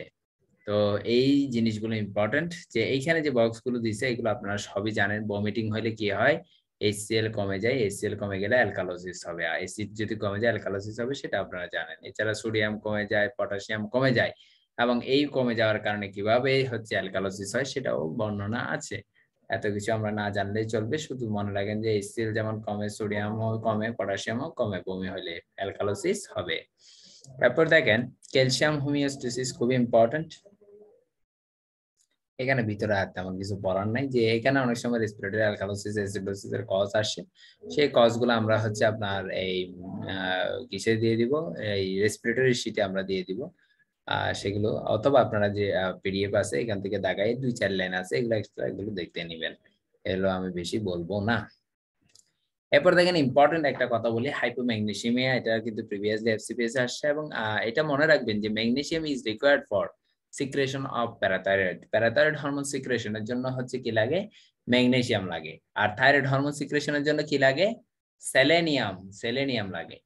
একইভাবে ইনসুলিনের সাথে আরেকটা হচ্ছে মাইক্রোনিউট্রিয়েন্টের হচ্ছে একটা ট্রেস এলিমেন্টের সম্পর্ক আছে, সেটা হচ্ছে ক্রোমিয়াম ক্রোমিয়ামের অভাবে ডায়াবেটিস হবে সেলেনিয়ামের অভাবে থাইরয়েড ডিজিজ হবে হাইপোথাইরয়েডিজম হবে, এবং হচ্ছে ম্যাগনেসিয়ামের অভাবে হাইপোপ্যারাথাইরয়েডিজম হবে। খুবই ইম্পর্টেন্ট আমরা ক্লিনিক্যাল নিউট্রিশন চ্যাপ্টার পড়ি নাই, খুবই ইম্পর্টেন্ট ওখান থেকে মাঝে মধ্যে দুই একটা প্রশ্ন আসছে তো ওই চ্যাপ্টার আমরা শেষ করে ফেলব ইনশাল্লাহ একবার। আপনারা শুধু ক্লাস করবেন, না পড়লে চলবে, শুধু ক্লাস করবেন। তো এখানে দেখেন হাইপো হাইপোম্যাগনেসিয়ামের যে কজগুলা এই যে এই কথাগুলো যে বললাম আপনাকে, যে magnesium is required for normal secretion of parathyroid হ্যাঁ তার ম্যাগনেসিয়াম আর ক্যালসিয়ামের একটা আর্থিক সম্পর্ক আছে। হাইপো ম্যাগনেশিয়াম হাইপো ক্যালসিয়াম এগুলো অ্যাসোসিয়েটেড দেখেন যে magnesium depression has important effect on calcium homeostasis কারণ ম্যাগনেসিয়াম যদি কমে যায়, তাহলে প্যারাথাইরয়েড সিক্রেশন কম হবে। প্যারাথাইরয়েড সিক্রেশন কমে গেলে ক্যালসিয়ামের পরিমাণও কমে যাবে। ঠিক আছে? তাহলে ম্যাগনেসিয়াম কমে গেলে ক্যালসিয়ামের পরিমাণও কমে যাবে। এই যে hypomagnesaemia causes and organ resistance parathyroid এরপর আসেন জিটেলম্যান এবং বার্টার সিনড্রোম জিটেলম্যান এবং বার্টার সিনড্রোম যে আমরা পড়ছিলাম নিমনি পড়ছিলাম যে গার্লস আর ট্যালেন্ট বয়েস আর ফ্রেন্ডলি দুইজনেই ভালো না। তারপর হচ্ছে Gitelman and Bartter syndrome can also result in urinary magnesium wasting ফলে এখানে হাইপোম্যাগনেসিয়ামিয়া হবে। চলেন, আমরা হচ্ছে এই কজগুলো দেখি। দেখেন, এখানে হাইপোম্যাগনেসিয়ামিয়া হলে হাইপোক্যালসিয়ামিয়া হয়, ফলে যে টিটানি হবে কার্ডিয়াক এরিথমিয়া হবে টর্সাডিস ডি পয়েন্টিস হবে, আমরা জানি হাইপোম্যাগনেসিয়ামিয়াতে কেএমসি দিয়ে মনে রাখছি যে কেএমসি দিয়ে মনে রাখছি যদি পটাশিয়াম কমে যায় হাইপোক্যালেমিয়া হয়, বা হাইপোম্যাগনেসিয়ামিয়া হয়, বা হাইপো সি দিয়ে কি? হাইপোক্যালসিয়ামিয়া ম্যাগনেসিয়াম যদি কমে যায়, ক্যালসিয়াম যদি কমে যায় এবং হচ্ছে পটাশিয়াম কমে গেলে সেক্ষেত্রে কি হবে? সেক্ষেত্রেও টিটানি হবে কিউটি প্রলঙ্গেশন বা টর্সাডিস ডি পয়েন্টিস হবে। আচ্ছা আমরা এখানে হচ্ছে হাইপোনেট্রিমিয়াটা পাইলাম না কেন? হাইপোনেট্রিমিয়ার যে ফিচারগুলো খুবই ইম্পর্টেন্ট কিন্তু। হাইপোনেট্রিমিয়ার যে ফিচার হয়, ডিজিনেস হয় তারপর হচ্ছে আপনার লিথার্জি হয় এছাড়া হচ্ছে সিজার হইতে পারে। যদি সিভিয়ার হাইপোনেট্রিমিয়া হয়, সিজার হবে। মানে কনভালশন হতে পারে। তো এই ফিচারগুলো খুবই ইম্পর্টেন্ট যে হেডেক হবে হাইপোনেট্রিমিয়ার কারণে হেডেক হয়। তো এই কজগুলো ইম্পর্টেন্ট যে মানে সিমটমসগুলো, এটা এফসিপিএস সার্জারি দুই হাজার একুশে আসছে এবং আপনাদেরও আসার অনেক সম্ভাবনা আছে। এখন দেখেন হাইপোম্যাগনেসিমিয়া কখন হতে পারে? আমরা শুধু মনে রাখতেছি যে হচ্ছে বার্টার এবং জিটেলম্যান এটা মনে রাখলেন। এছাড়া পিপিআই তো এমআরসিপিতে একটা প্রশ্ন আসছিল যে পিপিআই অনেকদিন ধরে ইউজ করতেছে নিচের কোনটা পেশেন্টের কার্ডিয়াক এরিথমিয়া ডেভেলপ করছে, কোন জিনিসটার ডিফিসিয়েন্সির কারণে হয়েছে? তো পিপিআই কিন্তু খেলে দীর্ঘদিন ম্যাগনেসিয়ামের পরিমাণ কমে যায়। এই জিনিসটা আপনাদের সাথে আমি শেয়ার করছি। পিপিআই ইন্টারস্টেশন ল্যাফ্রাইটিস করে। পিপিআই হচ্ছে vitamin B twelve calcium iron এগুলো অ্যাবজর্পশন কমাই দেয়। ম্যাগনেসিয়ামের অ্যাবজর্পশন কমাই দেয়। এই জিনিসগুলো হচ্ছে খুব ইম্পর্টেন্ট পিপিআই হচ্ছে আপনার কোলেস্ট্রিয়াম ডিফিসিলে ডায়রিয়া করে। এই এমআরসিপিতে আসছিল যে ম্যাগনেসিয়াম কমে যাওয়ার কারণে কার্ডিয়াক এরিথমিয়া হয়েছে, তো এটা ইম্পর্টেন্ট এছাড়া দেখেন ডায়াবেটিস ম্যালাইটাসে কিন্তু হাইপোম্যাগনেসিয়ামিয়া হতে পারে অ্যাকিউট প্যানক্রেটাইটিসও হতে পারে। এছাড়া আরও কিছু কজ যেমন ডায়রেটিক ফ্রুসিমাইড এবং থাইরয়েড ডায়রেটিক আমরা বলছি হাইপোনেট্রেমিয়া সোডিয়াম কমে যায় হাইপোক্যালেমিয়া হয় এবং হাইপোম্যাগনেসিয়ামিয়া হয়। আর পটাশিয়াম বাড়ায় এরকম ডায়রেটিক আমরা জানি যে স্পাইরোনোলেকটন অ্যামাইলোরাইট এবং ইপ্লেরানন ইপ্লেরানন ঠিক আছে? এরপর দেখেন, এখানে আরও কতগুলো কজ আছে যেগুলো হাইপোম্যাগনেসিয়ামিয়া করে। সেই কজগুলো একটু আপনারা দয়া করে একটু পড়বেন, নিজেদের মতো করে পড়বেন। এই যে স্টারভেশন ম্যালনিউট্রিশন অ্যালকোহলিজম এগুলো একটু পড়বেন। একেবারে সব কজ যে মুখস্থ রাখতেই হবে, পারতেই হবে এরকম না। এই যে ইম্পর্টেন্ট যে কজগুলো বললাম diabetic therapy thiazide loop diabetics হ্যাঁ তারপর হচ্ছে বার্টার সিনড্রোম জিটেলম্যান সিনড্রোম এগুলা, যে তারপর হচ্ছে pancreatitis proton pump inhibitor diabetes mellitus এগুলো বেশি ইম্পর্টেন্ট এর বাইরে যতটুকু মনে রাখা যায় রাখবেন, সব একেবারে নিজের উপর এত প্রেশার দেওয়া দরকার নাই। আচ্ছা এরপর আসেন হচ্ছে ফাংশনাল অ্যানাটমি এন্ড ফিজিওলজি সব থেকে বেশি হচ্ছে ওয়াটার কোথায় রিঅ্যাবজর্ব হয় ফসফেট কোথায় রিঅ্যাবজর্ব হয়, সেটা আমরা জানি। এগুলো সবগুলো হচ্ছে প্রক্সিমাল যে টিউবিউল এখানে সব থেকে রিঅ্যাবজর্ব হয় বেশি।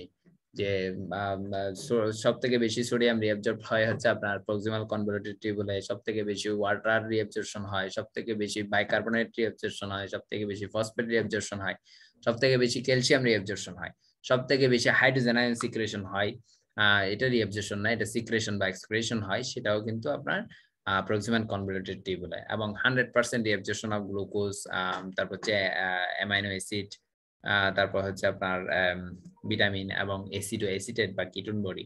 তো এইগুলো হয় ইন ইনফিনিটি স্টারটপিক্স এবং ফ্যানকনি সিনড্রোমে হচ্ছে প্রক্সিমাল কনভলিউটেড টিউবুলে ডিফেক্ট হয় এবং তখন প্রক্সিমাল রেনাল টিউবুল অ্যাসিডোসিস হয় এবং প্রক্সিমাল রেনাল টিউবুলের অ্যাসিডোসিসের সাথে অ্যাসোসিয়েটেড ডিজিজ আমরা বলছি cystinosis cystinosis Wilson's disease multiple myeloma এই ডিজিজগুলো অ্যাসোসিয়েটেড এবং পরীক্ষার জন্য খুবই ইম্পর্টেন্ট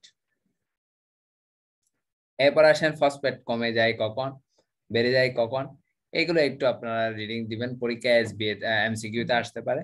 একটু আপনারা পড়বেন, এগুলো হচ্ছে টু স্টার টপিকস ঠিক আছে? মাঝে মধ্যে দুই একটা আসতে পারে। ইউজুয়ালি খুব একটা আসে না, মাঝে মধ্যে চলে আসতে পারে। চলে আসলে আমার কোনো দোষ না আপনারা একটু পড়বেন হাইপোফসফেটামিয়া এরপর দেখেন ফিনাইল কিটোনের এই যে পরীক্ষা আসে যে disorder of amino acid metabolism তাইলে ফিনাইল কিটোনেরিয়া এবং হোমোসিস্টিনেরিয়া এমসিকিউতে আসে। এসবিএ তেও আসতে পারে। তো অ্যামিনো অ্যাসিড কি কি আছে? ফিনাইল কিটোনেরিয়া এবং হোমোসিস্টিনেরিয়া এবং এখানের মধ্যে দুটাই এসবিএ তে আসার মতো টপিকস এবং আমরা জানি যে দুইটাই হচ্ছে আপনার অটোজোমাল রিসেসিভ কন্ডিশন এবং ফিনাল কিটোনিয়াতে হাইপোপিগমেন্টেশন হয়। হাইপোপিগমেন্টেশন হয়, যদিও হাইপোপিগমেন্টেশনের কজ আর আপনার ডার্মাটোলজিতে পড়ছেন। এবং এটা এফসিপিএস রেসিডেন্সিতে আসে যে এখান থেকে এসবিও আসে যে এরকম হাইপো হাইপার পিগমেন্টেশন কোথায় হয়, এবার রেসিডেন্সিতে আসে হাইপোপিগমেন্টেশনের কজগুলা। এরপর দেখেন phenylketonuria autosomal recessive disorder caused by loss of function mutation of phenyl PH যে হচ্ছে জিন সেটার। এবং এখানে কি হয়? ফিনাইল অ্যালানিন হাইড্রোক্সিলেজ যে এনজাইম সেটা ডিফিসিয়েন্সি হয়। ফলে কি হয়? ফিনাইল অ্যানালিন হচ্ছে অ্যাকুমুলেশন হবে নিউনেটের ব্লাডে এবং ফলে ইন্টেলেকচুয়াল ডিসেবিলিটি হবে আইকিউ কম হবে। এবং এদের ক্ষেত্রে হচ্ছে ট্রিটমেন্ট করতে হবে যে লো ফিনাইল অ্যালানিন ডায়েট দিতে হবে। তাহলে এদের আইকিউ কম থাকে ইন্টেলেকচুয়াল ডিসেবিলিটি এই ফিনাইল অ্যালানিনের পরিমাণ বেড়ে যায়। এই যে ফিনাইল অ্যালানিন হাইড্রোক্সিলেজ এনজাইমের কি হয়? এটা দরকার হয় যে হচ্ছে ফিনাইল অ্যালানিন ডিগ্রেডেশন করার কারণে। জন্য এটা যদি ডিফিসিয়েন্সি হয়, তখন ফিনাইল কিটোনেরিয়া হয়। হোমোসিস্টিন এরিয়ার সাথে আমরা মারফান সিন্ড্রোম পড়ছিলাম। মারফান সিন্ড্রোমে অনেক লম্বা হয়। হোমোসিস্টিন এরিয়াতে মানুষগুলো অনেক লম্বা হয়। পার্থক্য একটা জায়গায়। হোমোসিস্টিন এরিয়াতে হচ্ছে হোমোসিস্টিন ইউরিয়া ইউরিয়া মানে হচ্ছে ইউরিন ইউরিন যায় নিচের দিকে, ফলে হচ্ছে এখানে ল্যান্সের ডিসলোকেশন হয় নিচের দিকে। এবং মারফান সিন্ড্রোমে হচ্ছে অ্যাক্টোপিয়া ল্যান্সিন মানে লেন্টিস বা ল্যান্সের ডিসলোকেশনটা কোথায় হয়? আমরা জানি মারফানের শেষে Marfan. Marfan F N fan তাহলে হচ্ছে আপনার হচ্ছে কি ফ্যানটাকে উপরে সুতরাং এখানে মারফান সিন্ড্রোমে ল্যান্সের ডিসলোকেশন হয় উপরের দিকে। আর হোমোসিস্টিন এরিয়া ইউরিন যায় নিচের দিকে, ফলে হোমোসিস্টিন এরিয়াতে কি হবে? ল্যান্সের ডিসলোকেশন হবে নিচের দিকে। দেখেন, এটাও অটোজোমাল রিসেসিভ একটা কন্ডিশন এখানে যে হচ্ছে সিবিএস জিনের মিউটেশন হয় সিস্টাথিয়ন বিটা সিনথেটিস এটার হচ্ছে ডিফেক্ট হয় এনজাইম ডিফিসিয়েন্সি হয়। এই এনজাইমের ডিফিসিয়েন্সি হলে কি হবে? হোমোসিস্টিন ব্লাডে হোমোসিস্টিন এবং মিথিওনিন বেড়ে যাবে। হোমোসিস্টিন এবং মিথিওনিন বেড়ে যাবে। হোমোসিস্টিন এবং মিথিওনিন বেড়ে যাওয়ার কারণে কি হবে এখানে? Ectopia lentis displacement of the lens কোন দিকে হবে? একটোপিয়া ল্যান্টিস ডাউনওয়ার্ড ডাউনওয়ার্ড নিচের দিকে। একটোপিয়া মানে কি? যে জায়গায় থাকার কথা সেই জায়গায় নাই, অর্থাৎ ডিসলোকেশন হয়ে গেছে। ফলে এখানে হবে কি? হোমোসিস্টিনিয়াতে ডাউনওয়ার্ড ডিসলোকেশন এছাড়া এরাও হচ্ছে ইন্টেলেকচুয়ালি ডিসেবলড হবে। ডিলে ডেভেলপমেন্ট মাইলস্টোন এদের গ্রোথ ভালো হবে না। এবং সিজা সাইকিয়াট্রিক ডিস্টারবেন্স এইসব ঘটনা ঘটবে। সাথে কি হবে? স্কেলেটনের সাথে, অর্থাৎ অন্যান্যগুলোর সাথে হচ্ছে মিল আছে, মারফান সিন্ড্রোমের সাথে। এরাও মারফান সিন্ড্রোমের পেশেন্টের মতো লম্বা লম্বা হবে। এদের শুধু আপনার যেটা আর কি, এই, আই ডিসপ্লেসমেন্ট যেটা, লেন্সের, সেটা ডিফারেন্ট হবে। এছাড়া এদের অস্টিওপোরোসিস হতে পারে, হাইপোপিগমেন্টেড হবে এদের স্কিন এবং এখানে যেটা ইম্পর্টেন্ট ট্রিটমেন্টটাও খুব ইম্পর্টেন্ট হোমোসিস্টোনিয়া খুব ইম্পর্টেন্ট অ্যাটিপিক্যাল যদি কোনো এসবি দেয়, এরকম এসবি গুলো আসতে পারে আপনাদের হোমোসিস্টোনিয়া এটা টল স্ট্রাকচার হবে লেন্সের হচ্ছে ডাউনওয়ার্ড ডিসলোকেশন হবে হোমোসিস্টিন মিথিওনিন এই লেভেলগুলো বেড়ে যাবে। এই যে যে হচ্ছে এনজাইমটা সিস্টাথিয়ন বিটা সিনথেটিস এটার ডিফিসিয়েন্সির কারণে এই ঘটনাগুলো ঘটে। এবং এদেরকে কি দিতে হবে? মিথিওনিন রেস্ট্রিক্টেড খাবার দাবার দিতে হবে সিস্টিন বা মিথিন কি বলে মিথিওনিন রেস্ট্রিক্টেড দিতে হবে এবং সিস্টিন সাপ্লিমেন্টেড ডায়েট দিতে হবে এবং বেশি করে পাইরিডক্সিন দিতে হবে। তো পরীক্ষায় যদি জিজ্ঞেস করে যে আপনার হচ্ছে এদেরকে কোন ভিটামিন দিবেন আপনি, তাহলে হচ্ছে পাইরিডক্সিন দিবেন। পাইরিডক্সিন পাইরিডক্সিন কত? ভিটামিন বি সিক্স তাই না? ভিটামিন বি সিক্স তাহলে আমরা হচ্ছে পাইরিডক্সিন সাপ্লিমেন্ট দিব সিস্টিন সাপ্লিমেন্ট দিব। তারপর হচ্ছে মিথিনিন রেস্ট্রিকশন করব এবং আরেকটা জিনিস ইম্পর্টেন্ট গ্যালাক্টোসেমিয়া কিন্তু ওভাবে কখনো পরীক্ষায় আসে না, এগুলো পেডিয়াট্রিক্সে আসে, যে ডিসঅর্ডার অফ কার্বোহাইড্রেট মেটাবলিজম আপনারা শুধু হেডলাইনগুলো করবেন হেডলাইনের কোন কোন ডিজিজ আছে, যে কার্বোহাইড্রেট মেটাবলিজম ডিসঅর্ডার গ্যালাক্টোসেমিয়া এবং glycogen storage disease glycogen storage ডিজিজের মধ্যে আবার অনেকগুলো ডিজিজ আছে জাস্ট নামগুলো বললেই হবে, এগুলো বেশিরভাগ ক্ষেত্রে পেডিয়াট্রিক্স সিপিএসে আসে তো গ্যালাক্টোসেমিয়ার মধ্যে অনেকগুলো কথা আছে, এটাও যেহেতু মেটাবলিক ডিসঅর্ডার অটোজোমাল রিসেসিভ হবে। ব্লাডে হচ্ছে গ্যালাক্টোসেমিয়া মানে হচ্ছে ব্লাডে গ্যালাক্টোজের পরিমাণ বেড়ে যায়। ব্লাডে কি হয়? গ্যালাক্টোজের পরিমাণ বেড়ে যায়। ফলে কি হবে? ভমিটিং ডায়রিয়া এগুলো শুরু হবে। মানে ইনজেকশন অফ মিল্ক মিল্ক খাওয়ার পরেই হচ্ছে, কয়েকদিন পরে হচ্ছে এগুলো ভমিটিং ডায়রিয়া হবে। এবং আমরা নিউনাটাল জন্ডিসের কজ হিসেবে পড়ছি যে গ্যালাক্টোসেমিয়া এবং এখানে সব থেকে মোস্ট কমন ক্লিনিক্যাল প্রেজেন্টেশন এটা এসবিএ তে আসতে পারে গ্যালাক্টোসেমিয়ার ক্ষেত্রে, যে এগুলো তো পেডিয়াট্রিক্স এর টপিকস তো এগুলো থেকে ওভাবে প্রশ্ন হওয়ার সম্ভাবনা কম, কিন্তু হইলে এই প্রশ্নটা গুলো হবে যে এটাতে জন্ডিস হবে, বাচ্চা জন্ম হওয়ার পরে দেখা যাচ্ছে যে এক থেকে দুই দিন পরে হচ্ছে তার জন্ডিস হয়েছে সাথে হচ্ছে তার পেশেন্টের হচ্ছে মানে মিল্ক খাওয়ার পরে মিল্ক খাওয়ার পরে এরকম হচ্ছে। এরপরে হচ্ছে দেখা যাচ্ছে failure to thrive most common presentation তাদের হচ্ছে গ্রোথ ঠিক মতো হচ্ছে না। এছাড়া হচ্ছে এদের ক্যাটারাক্ট ইন্টেলেকচুয়াল ডিসেবিলিটি হ্যাপাটোমেগালি এগুলো হবে। সাথে যে জিনিসটা ইম্পর্টেন্ট গ্যালাক্টোসেমিয়াতে কোন অর্গানিজম দিয়ে মোস্ট কমনলি ইনফেকশন হয়? ইকোলাই দিয়ে ইনফেকশন হয় ইকোলাই দিয়ে ইনফেকশন হয়। এদেরকে গ্যালাক্টোজ এবং ল্যাকটোজ এই খাবারগুলো দেওয়া যাবে না। গ্যালাক্টোজ এবং ল্যাকটোজ এই খাবারগুলো দেওয়া যাবে না। একটুকি গ্লাইকোজেন স্টোরেজ ডিজিজের নামগুলো পড়বেন। Von Gierke Pompe Cori Andersen McArdle Hers দারুল এগুলো একটু নামগুলো পড়বেন পরীক্ষা এমসিকিউতে আসবে, কোনটা গ্লাইকোজেন স্টোরেজ ডিজিজ কোনটা লাইসোসোমাল স্টোরেজ ডিজিজ জাস্ট নামগুলো পড়বেন, ঠিক আছে? আর যদি কারও যদি সেলফ ইন্টারেস্টে পড়তে ইচ্ছা হয়, von গার্কিতে glucose six phosphate dehydrogenase deficiency হয় ফসফেটাস তারপর হচ্ছে পম্পি এবং ম্যাকারলি ম্যাকারলি এগুলো হচ্ছে আপনার এমআরসিপিতে আসে কিন্তু এফসিপিএস এখনও আসে নাই তারপরে এই তিনটা জিনিস আপনারা একটু পড়তে পারেন, যদি পড়তে চান আনকমনগুলো পেরে আসতে চান, অনেকের নাম্বার বেশি পাওয়ার ইচ্ছা থাকে। তারা পড়তে পারেন। এছাড়া দেখেন লাইসোসোমাল স্টোরেজ ডিজিজ কি কি আছে? এই নামগুলো একটু পড়বেন। এই নামগুলো, শুধু নামগুলোই পড়বেন। শুধু নামগুলোই পড়বেন। এই ভিতরে পড়তে গেলে এগুলো আনকমন ডিজিজ দেখা যাচ্ছে যে আসলেও ডায়াগনোসিস করতে পারতেছেন না। সো কঠিন জিনিস পড়ার থেকে সহজ জিনিস বেশি বেশি পড়া দরকার এবং সহজ জিনিস পারলে পাস হয়ে যাবে যেগুলো কমন জিনিস। অনেক মেকানিজম আছে। এত মেকানিজম আসলে পড়ে লাভ নাই। এখান থেকে হয়তো একটা প্রশ্ন আসতে পারে। এর গতবার একটা প্রশ্ন আসছিল এখান থেকে।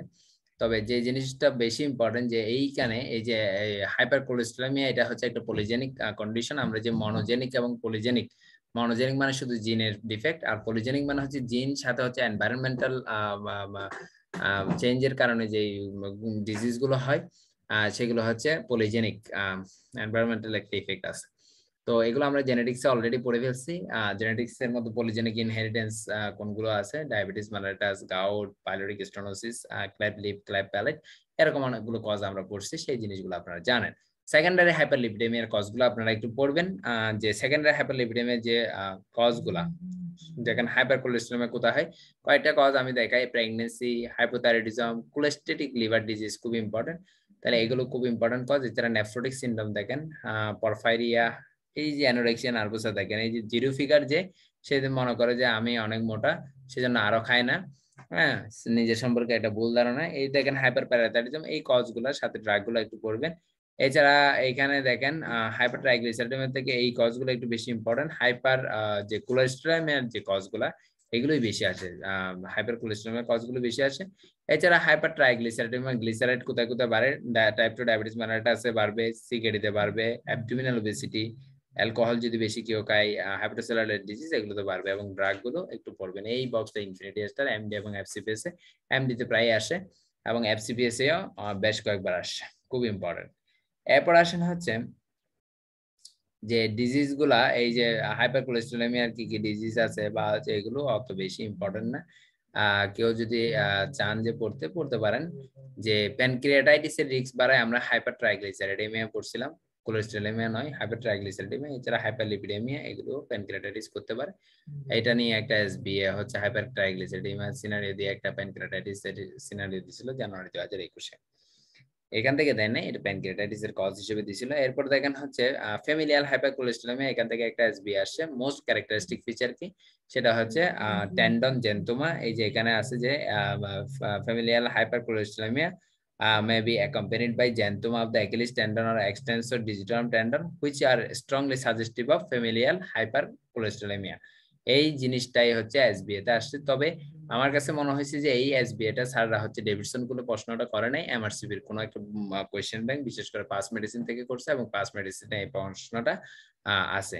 তো এটা সম্ভবত ওইভাবেই করছে যে কারণে টেন্ডন জেন্টোমা এটা হচ্ছে আনসার যে ফ্যামিলিয়ার হাইপার কোলেস্টেরমের ক্ষেত্রে মোস্ট ক্যারেক্টারিস্টিক বা হলমার্ক ফিচার কোনটা, এইভাবে প্রশ্নটা করছে যে এটা কি টেন্ডন জেন্তুমা। এছাড়া হচ্ছে যাদের হচ্ছে হাইপারলিপডেমিয়া বা হচ্ছে হাইপার কোলেস্টেরমিয়া ট্রাইগ্লিসাইডেমিয়া এগুলো হয় কর্নিয়াল আর্কাস ফর্মেশন হয়।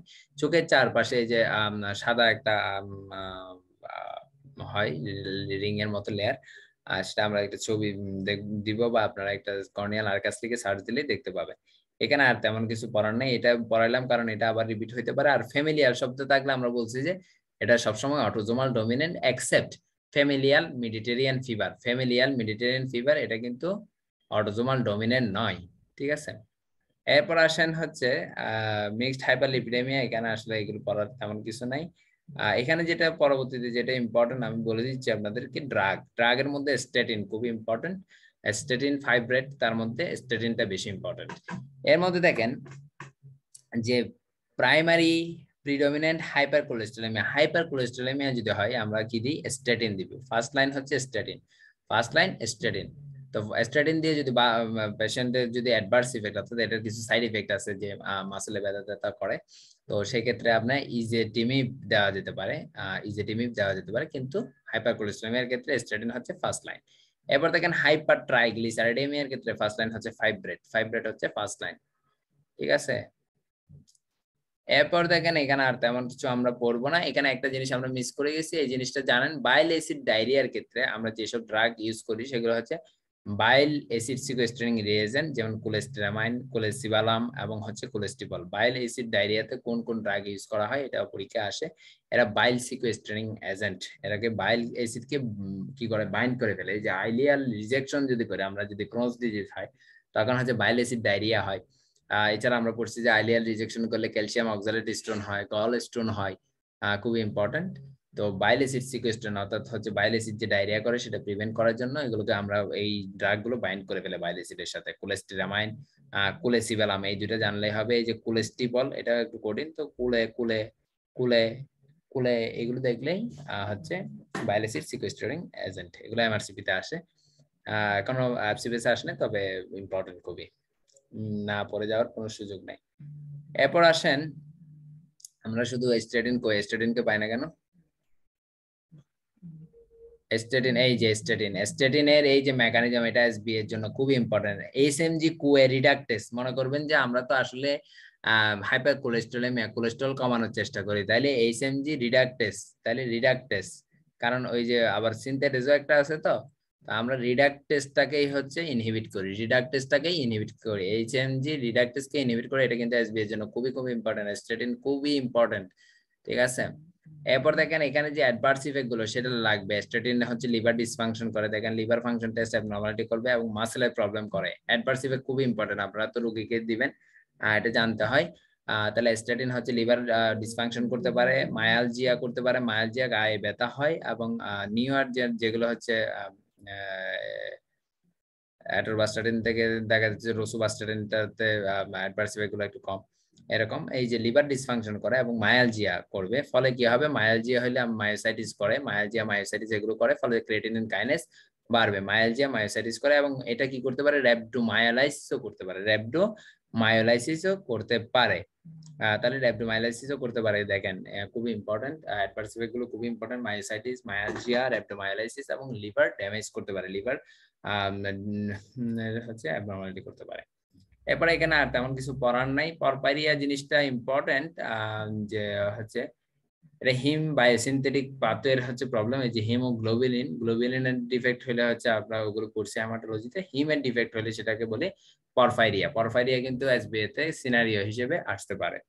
তাহলে হিম হিম সিনথেটিক পাতের সমস্যাটাই হচ্ছে হিমের যদি বায়োসিনথেটিক পাতের কোনো ডিফেক্ট হয় তখন পরফাইরিয়া হয় এবং porphyria cutanea টার্ডা porphyria cutanea tarda এটা হচ্ছে most common cause of porphyria porphyria cutanea tarda এটা হচ্ছে most common cause of porphyria এবং যেটা ইম্পর্টেন্ট আর কি হ্যাপাটাইটিস সি করে, এটা হচ্ছে হ্যাপাটাইটিস সি এর সাথে associated associated with hepatitis C porphyria cutanea tarda hepatitis C এর সাথে অ্যাসোসিয়েটেড কিছু কিছু ডিজিজ আছে বি এবং সি এর সাথে অ্যাসোসিয়েটেড খুব ইম্পর্টেন্ট তাহলে পরপাইরিয়া কিউটেনিয়া টার্ডা হচ্ছে মোস্ট কমন হচ্ছে পরফাইরিয়া এবং এটা কিসের সাথে অ্যাসোসিয়েটেড এটা হচ্ছে হ্যাপাটাইটিস সি এর সাথে অ্যাসোসিয়েটেড এবং ক্লিনিক্যাল ফিচারগুলো পড়বেন তাহলে আপনার এসবি এটা পারতে সুবিধা হবে।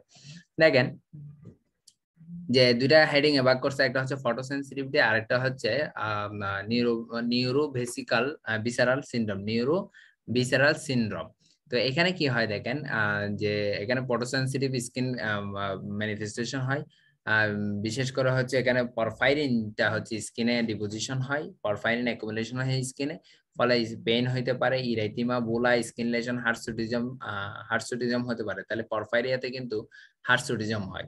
এছাড়া হাইপার পিগমেন্টেশন হয়। আপনারা ডার্মাটোলজি পড়ছেন সর্বশেষ পৃষ্ঠায় যে বক্সটা আছে যে হার্সুটিজমের কজের মধ্যে কিন্তু পরফাইরিয়া আছে। তো হার্সুটিজম এবং হাইপার পিগমেন্টেশন করে। এটা হাইপার পিগমেন্টেশন করে যে হাইপার হাইপার পিগমেন্টেশনের কজ আসলে পরফাইরিয়া কিউটেনিয়া টার্ডা কিন্তু হাইপার পিগমেন্টেশন করে হার্সুটিজম করে, এছাড়া স্কিনে পেইন ইলাইটিমা বোলা, এগুলো করে। তাহলে স্কিনে ম্যানিফেস্টেশন আছে। এছাড়া পরীক্ষায় কিন্তু এই যে স্কিন ম্যানিফেস্টেশন দিবে, সাথে হচ্ছে অ্যাবডোমিনাল পেইন দিবে। অ্যাবডোমিনাল পেইন থাকে অ্যাবডোমিনাল পেইন সাথে হচ্ছে অটোনমিক ডিসফাংশন থাকে। যে আমি যে প্রশ্নগুলো সলভ করছি, এগুলোতে কিন্তু অ্যাবডোমিনাল পেইন স্কিন এগুলো ইনভলভমেন্ট পরীক্ষা ছিল এমআরসিবি প্রশ্নগুলোতে। আর সাথে কি থাকে? দেখেন টেকিকার্ডিয়া হাইপারটেনশন থাকবে পেশেন্টের কনস্টিপেশন থাকবে। এই যে অটোনমিক ডিসফাংশন হচ্ছে, ফলে হচ্ছে বাউল মুভমেন্ট হচ্ছে না। তাহলে হচ্ছে, দেখেন নিউরোসাইকিয়াট্রিক ম্যানিফেস্টেশন তাহলে নার্ভাস সিস্টেমের ক্ষেত্রে অ্যাডিএস সিক্রেশন বেড়ে যাবে, অর্থাৎ সিয়াত হবে। সিয়াত হলে কি হবে? হাইপোনেট্রেমিয়া হবে। আমরা জানি অ্যাডিএস বেশি বেশি রিলিজ হলে পানি ধরে রাখবে। পানি বেশি হয়ে গেলে যে নর্মাল সোডিয়াম এর তো সোডিয়াম ধরে রাখে না। অ্যাডিএস শুধু পানি ধরে রাখে। আর অ্যালডোস্টেরন বোধ সোডিয়াম এবং হচ্ছে সোডিয়াম ধরে রাখে। ফলে হচ্ছে সোডিয়াম ধরে রাখলে তো পানিও ধরে রাখবে একসাথে। কিন্তু অ্যাডিএস শুধু শুধু সোডিয়াম ধরে রাখে পানি ধরে রাখে, শুধু পানি ধরে রাখার কারণে সোডিয়ামের পরিমাণ কমে যায় হাইপোনেট্রিমিয়া হয় সিয়াত তাহলে সিয়াত করে, তাহলে হচ্ছে পরফাইরিয়া হচ্ছে সিয়াত করে। এছাড়া অ্যাকুট অ্যাবডোমিনাল পেইন নিয়ে পেশেন্ট প্রেজেন্ট করবে হাইপারটেনশন নিয়ে প্রেজেন্ট করবে হাইপার পিগমেন্টেশন নিয়ে প্রেজেন্ট করতে পারে পেশেন্ট এই কন্ডিশনগুলো হতে পারে। এরপর দেখেন হচ্ছে কিছু ট্রিগারিং ফ্যাক্টর আছে পরপারে কিউটেনি টার্ডা এগুলো লাগবে যে এই ড্রাগগুলো খাওয়ার পরে বা অ্যালকোহল খাওয়ার পরে ফাস্টিং এর পরে। ওসিপির পরে এই রকম ঘটনা ঘটছে তখন হচ্ছে আপনি, আপনার জন্য এটা আরও বেশি সুবিধা হবে আর কি। তো এখন দেখেন হচ্ছে যে জিনিসটা ইম্পর্টেন্ট যে যেসব জিনিস এজেন্টগুলো হচ্ছে যে ট্রিগারিং ফ্যাক্টর এগুলোকে অ্যাভয়েড করতে হবে এবং হচ্ছে স্পেসিফিক ইন্টারভেনাস গ্লুকোজ দিতে হবে তারপর হচ্ছে আপনার বিটা ক্যারোটিন ইউজ করা যেতে পারে, কিছু কিছু পেশেন্টের ক্ষেত্রে, এছাড়া হচ্ছে পরফারি কিউটেনিয়া টার্ডার ক্ষেত্রে ব্যানে সেকশন করতে হবে ব্যানে সেকশন করতে হবে। আমাদের হচ্ছে আজকের ক্লাস এতটুকুই। আপনারা এরপরে যদি রিভিশনের সুযোগ পান তো রিভিশন দিবেন, কিন্তু এই ক্লাসটা একটু, এই টপিকসটা ইম্পর্টেন্ট বডি ফ্লুইড এটা মিস করবেন না, এটা পড়বেন সময় বের করে যে কোনো ভাবেই হোক পড়বেন আশা করি মনে থাকবে। পরীক্ষা না হ্যালো